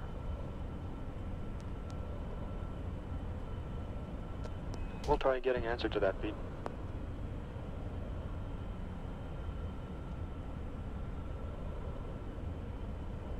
Uh, that, that boulder track business got me thinking about that. Go ahead with your question. Yeah, let me let me say something else too, and I can't remember if I said it. You know, we when we talked with Al Chidester and the guys before we went about the main objectives of the geology wasn't to go out and grab a few rocks and take some pictures, but to try to understand the morphology and the stratigraphy and what have you of the vicinity you were in. Look around and try to use your head along these lines. Well, I tell you, it wasn't uh, less than 10 times I s- stood in spots, including in the LM, both times we were back in, and said, okay, now, B, what can you do in that, can you fill that square? Is it possible to look out there and try to determine where this came from, which is first, which is second, and all that? And except for deciding which craters look newer than others, which we know from ground uh, observations, Well, at least during this long flight, we've got their full account of what it was like on the moon. And we were when we were out at Meteor Crater and other places that gave us those kind of clues. That whole area is just has been acted on by these meteoroids or something else, so that all these features that are normally neat clues to you on Earth are not available. Pete Conrad is good at describing things. I didn't find any way to fill that those two big squares. You know, I never was able to Oh, walk too enough to now. crater to determine when the normal ground stopped and the ejecta started, except on the difference in slope or the fact that it got a little bit more powderier under my feet. And that's not a very good index. We never saw anything of a different color or a different amount of rocks or anything else, except the times that Pete and I were kicking up that very light uh, gray as opposed to the to the more uh, uh, dark cement gray material. There's just no contacts to look at.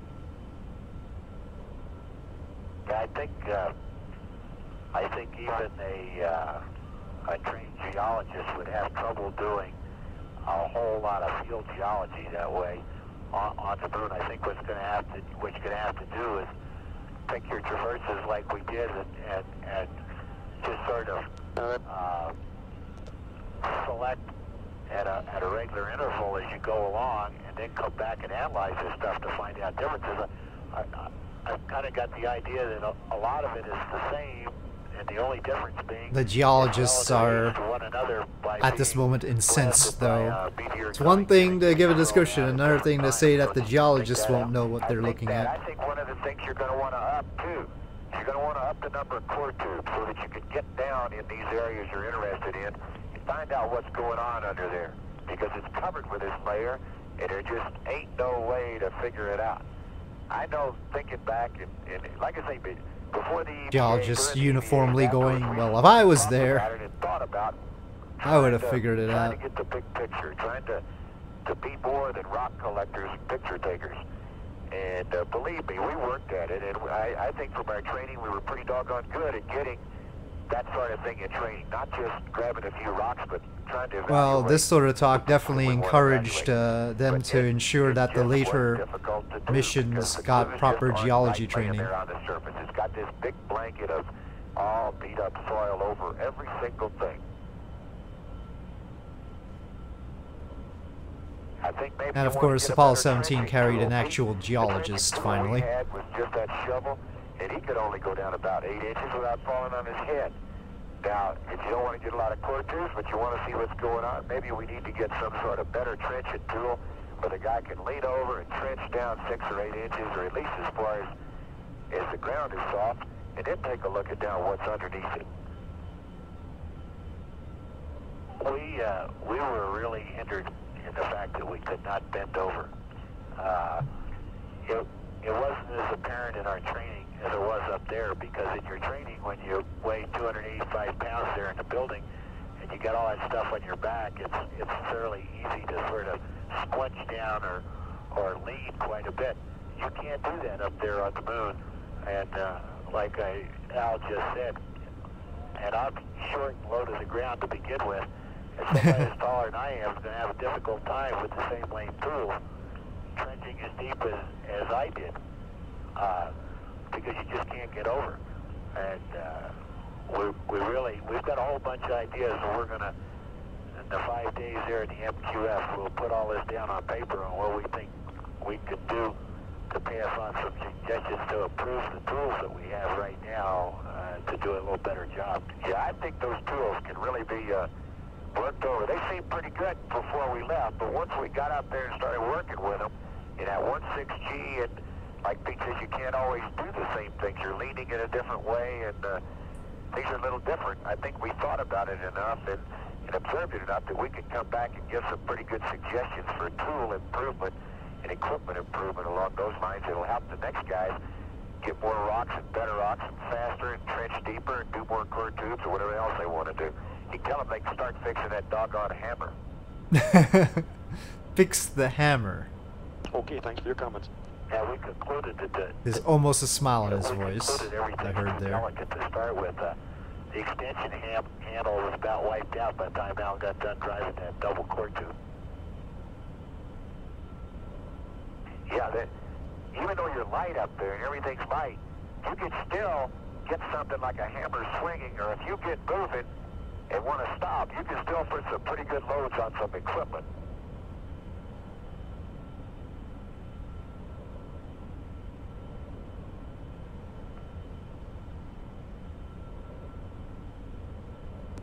Okay, Pete, now that's it for the questions. Thanks very much. Uh, could you give us an, uh, a reading off the O2 pressure gauge on the repress pack?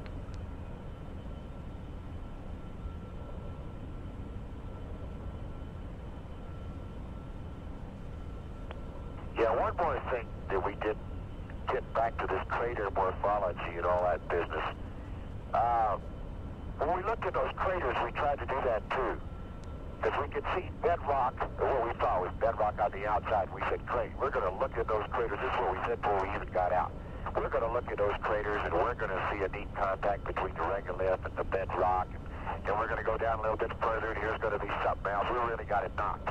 We looked at those craters and what it looks like is just like the surface, except there's a few rocks that seem to be resting on the wall and resting in the bottom. Now, if you went down there and dusted away all that material, I don't know how much there is there, maybe you'd find a contact between the, the regolith and the, and the ground uh, bedrock, but, you know, you really couldn't see it. Now, maybe you could infer it from the pictures we took and what we discussed, because usually we show it here and there, particularly on that very last crater. But uh, that's good. That's going to take some work. It's, it's just not like looking at a crater on Earth.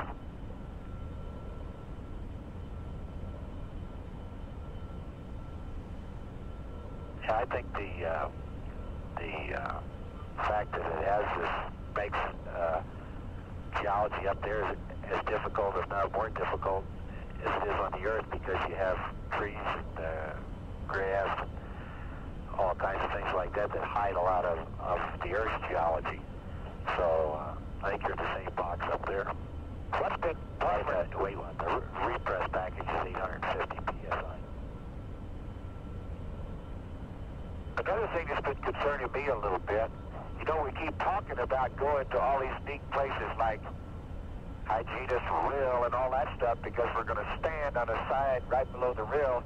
We're going to look up on that big high side, and right there is going to be the history of the moon, like sort of like the Grand Canyon gives us such a great one of the Earth. Well, I'll tell you, if the sides of that place or anything like the sides of craters or the sides of the surveyor, you're going to look up there and you're going to see a bunch of dust just like you see on the surface. Unless there's, you know, unless uh, I could be easily wrong. We hadn't been there. But uh, we just didn't see any places, no matter what the slope, that didn't have all this uh, uh, material all over it.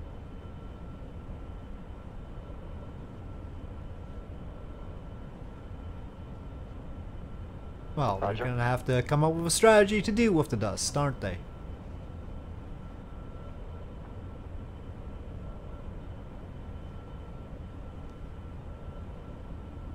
This is Apollo Control Houston at uh, 192 hours, uh, 46 minutes into the flight. Uh, you've been listening to a long uh, discussion on uh, geology between Pete Conrad and Al Bean aboard the spacecraft and Ed Gibson here in Mission Control Center. Along with uh, Gibson at his side is astronaut geologist Jack Schmitt, who is working with Ed in preparing the questions. While we uh, have a slack moment in conversation, we would like to uh, pass along an announcement.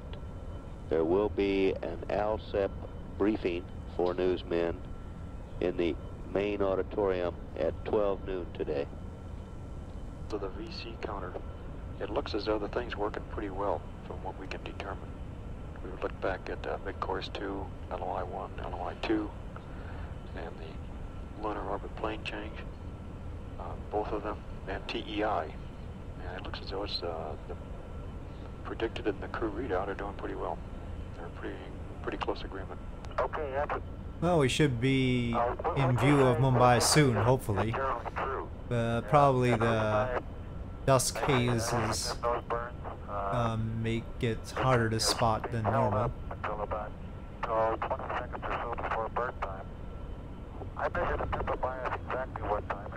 Okay, just checking for beeping in this case. feet per second in one minute, which is At this point, there's a fair chance I could glide in without the engine with The nice wing. the only other Though I don't know about the wing loading on this. that on the Delta V10, Hmm. put FTE 6.8 in, and run it to 10 seconds in the Delta It's V10. got a 70 meter square wing, which is a little and higher than what- empty weight of 9.4 tons.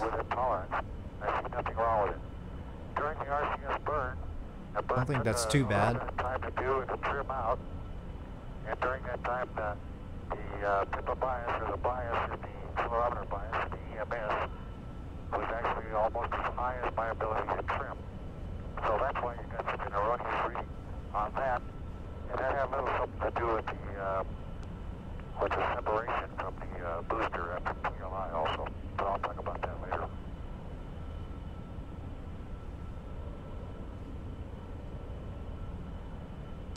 Apollo Control Houston, uh, we presently show an altitude of We're within tolerance, however, Dick.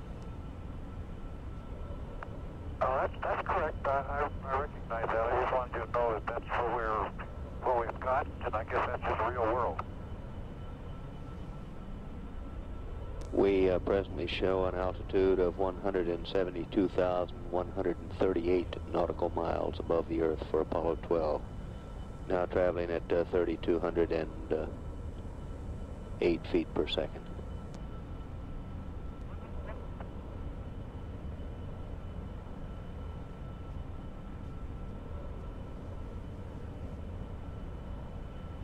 Hey, one last comment there, uh, Houston. How about telling old Hugh Clint that we both thought we were in Kapoho Tune when we run that moon, and we gave him uh, about the same uh, type of information that we gave him at Kapoho as far as it was visible. Roger, Al, will do.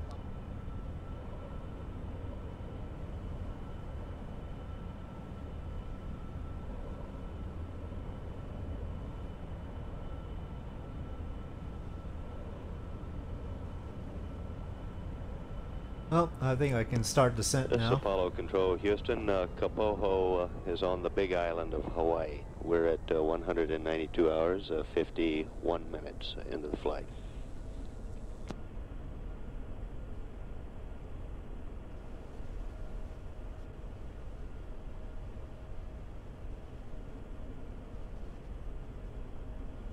12, Houston.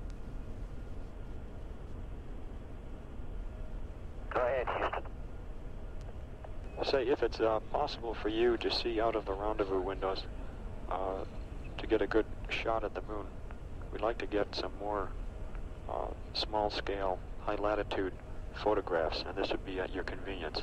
If you think you can do it, uh, give us a call and we'll give you some procedures. Okay, now we just took some, uh, about two hours ago, some 250 millimeter uh, of the moon, which uh, of course are full frame. Uh, would you care for something now? Uh, and what lens would you like? Sounds as though you uh, pretty well outguessed us. Uh, it'd be a Hasselblad with a 250 millimeter lens, black and white film, uh, 5.6, 1 250th, and of course an infinity. And if you take uh, two or three photos and repeat approximately 30 minute intervals uh, for one hour,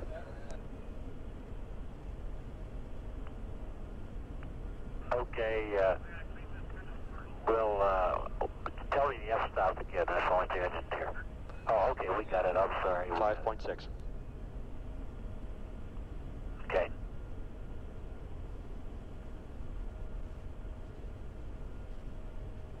Al, Houston.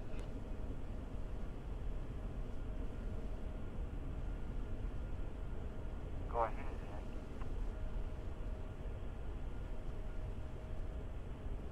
Apollo 12, Houston, are you observing any variation Serious in antenna position at the pinkish time? clouds all over the place.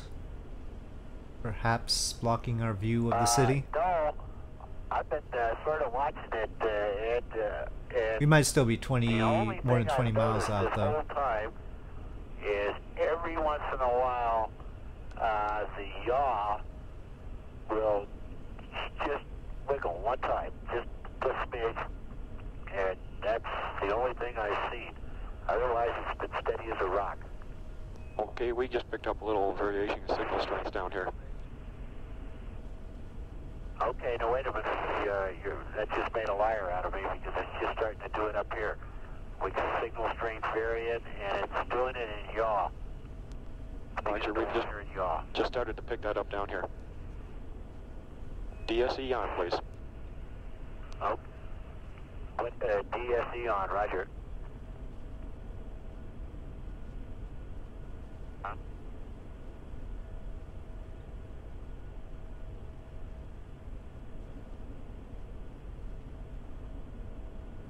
Okay, now the recorder's on and then we're in low. Do you want us to go to high bit rate? Affirmative. High bit rate.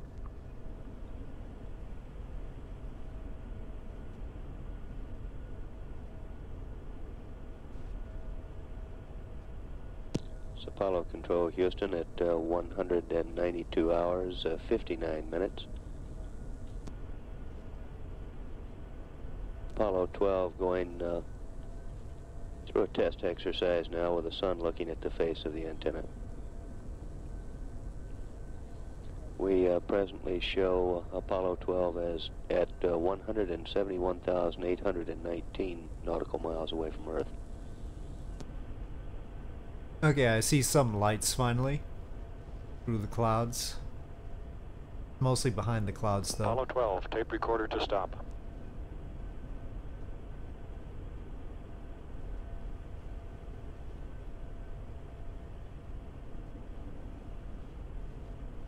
Okay, that's done, Ed. Thank you, 12. It looks as though it's settled down. Uh, let's just keep an eye on it.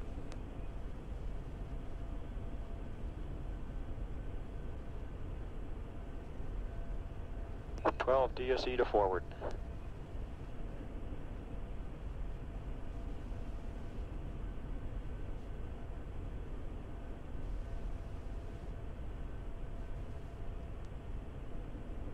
Yep, we got it.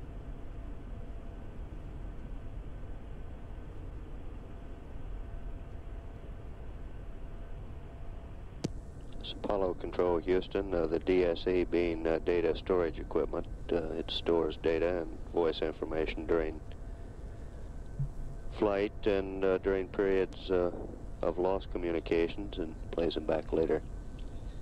We're at 193 hours, 4 minutes into the flight. Apollo 12 now at an altitude of Well, you certainly have a view. 171,664 nautical miles And above that's the Earth. our airport. Present velocity uh, 3,212 feet per second.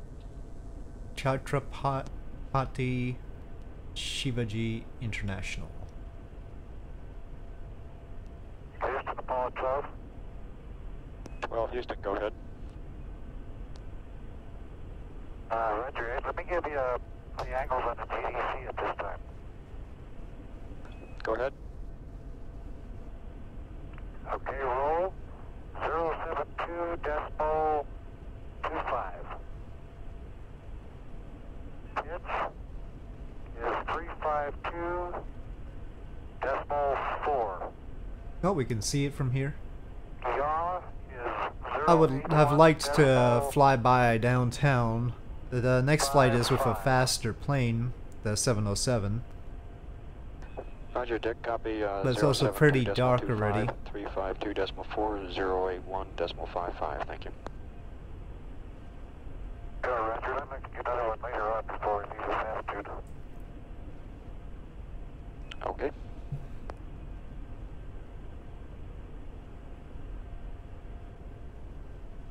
The airport is pretty far away from the main city. No, it's sort of it should be close ahead. enough. I'll just fly straight It in. looks like what the antenna's done now is uh, driven to some position other than optimum and it's just sitting there.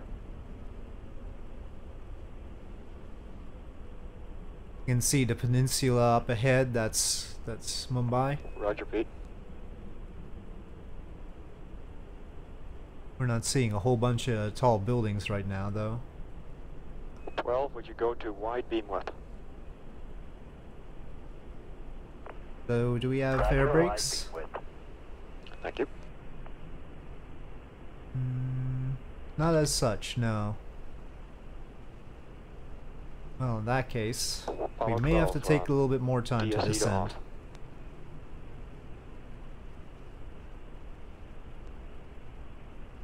That's a nice view, though.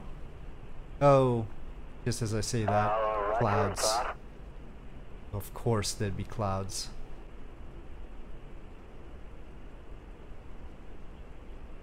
Apollo Okay. 12, is the antenna holding steady at the present time? More clouds? Probably more clouds. Uh, as best as I could tell it is, Ed, it's moved a little bit from where it was a little while ago, but it's not wobbling like it was doing the other day. Roger.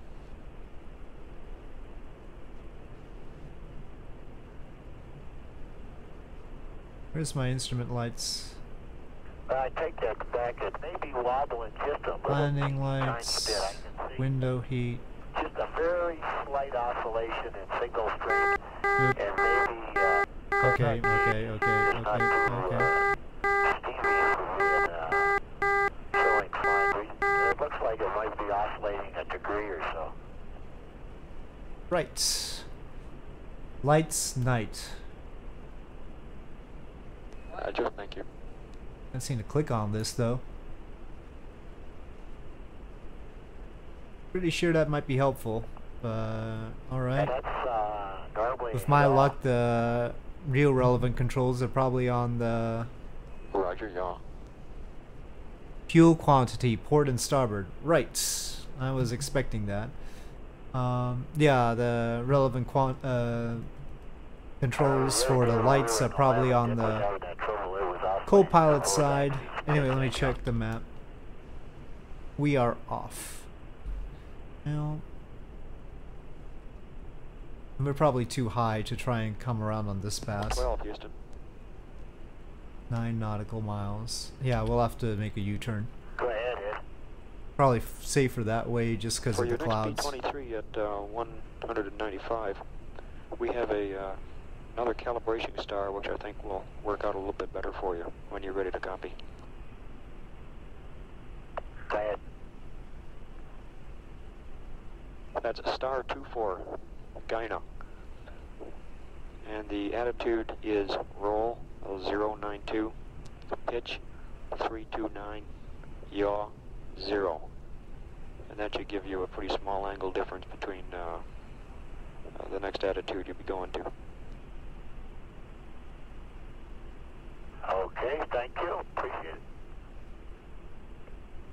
This ought to be a very interesting one too, uh, Ed, because uh, I noticed on the other series of Be helpful if that showed something. Plane series that Gienah was uh, Gienah was uh, pretty dim uh, in the normal optics mode, but I'll be interested to see if I can see the star through the landmark line of sight, and I'd like to try it. That sounds good to me. Nothing more to see out here than in there. Okay, seriously though. Apollo Control Houston, uh, Can you that click was this? capsule communicator Ed Gibson talking to uh. Dick Gordon uh, concerning their his, his next set of navigational star sightings. We now show Apollo 12 at 171,111 nautical miles away from Earth and traveling at a speed of 3,222 feet per second.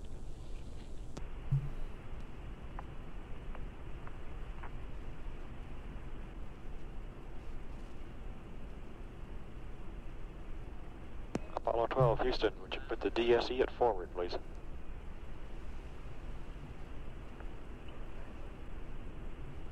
Hmm. 12, could we have the track mode to narrow? Nope, just defrost stuff over there.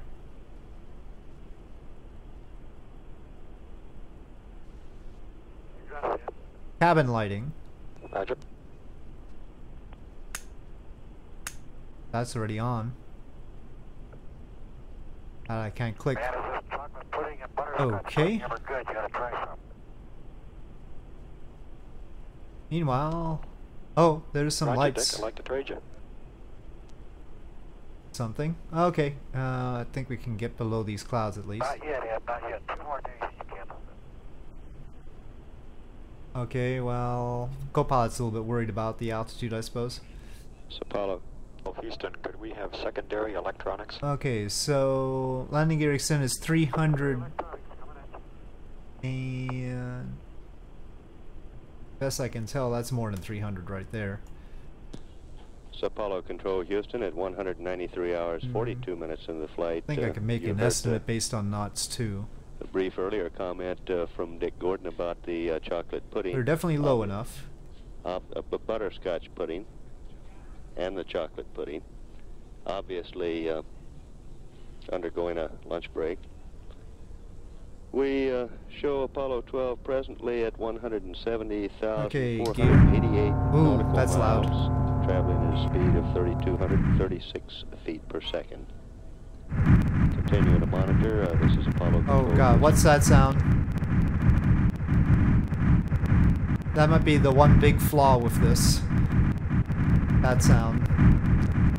This is Apollo Control Houston at uh, 193 hours 44 minutes into the flight.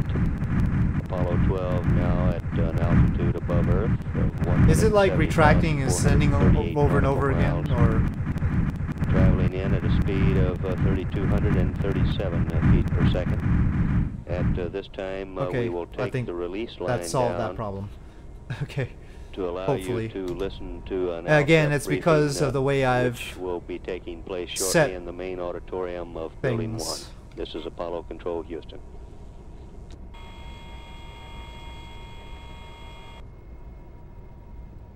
Well, I probably should have seen where the cabin lights were. Whoa! Oh god! Oh god! Control at 194 hours, 38 minutes. Apollo 12 is 168,721 nautical miles from Earth. Should have seen where the cabin lights were before I 3,275 feet per second. Crew of Apollo roll left is now in the max. Okay, all right, all right, Of, uh, all right. That's fine. That's not the worst warning I've ever had. this exercise moved up one hour from the flight plan. At the uh, Mhm. completion of the S-band high gain antenna test, was decided to proceed on with the P-23 navigation Oh. sightings rather than go into Oh, there it uh, passive thermal control for an hour and then start the sighting. So Okay, okay, okay. You don't want that much That roll. Got it. navigation Got it. was moved Got up it. one hour, and the crew is in the process of doing that now. Holy crap. There's been very little conversation uh, during the ALSEP news briefing. What conversation there has been has pertained to either the uh, antenna test or the, the navigation sightings. We have turned No, that tape the over roll to thing the is kinda- transcript. Yeah, we're People. too high. We will now continue to stand by live for any uh, further air-ground communication. And too far off, too. Uh, not again. Houston, Apollo 12. Go 12. Guess what? I don't have a star. I didn't like what I did in Karachi with the fighter plane. Uh, I'm not gonna like this either, but I don't have a I star. can barely see what th what's going on around here these days.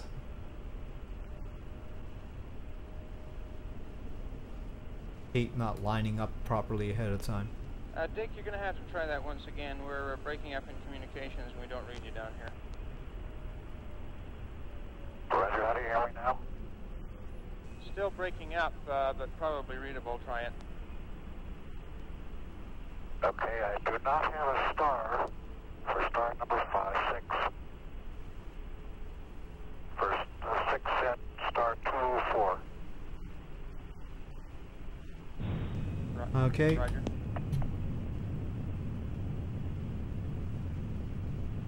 Tell the boys in the back room I don't have a star for this particular one in the field of view. I can't see it. Roger, we'll it. Okay, well, we're here. And I think I'll take that taxiway. Uh, Dick, So, welcome to we wanted make Mumbai. sure Wish we had gotten a better view of it. Hopefully, see the star because of we can get a good view was with the 707.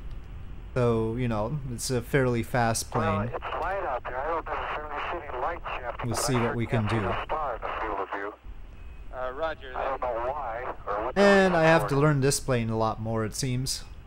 Okay, Especially where uh, the light uh, controls are. Star then is uh, star 24 But, and the uh, Earth let me.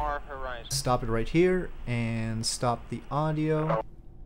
And uh, with that, I'll say thank you for watching. I hope you enjoyed this video. If you did enjoy this video, please do press like. If you have any comments or suggestions, please leave them in the comment section below. And I'll see you next time.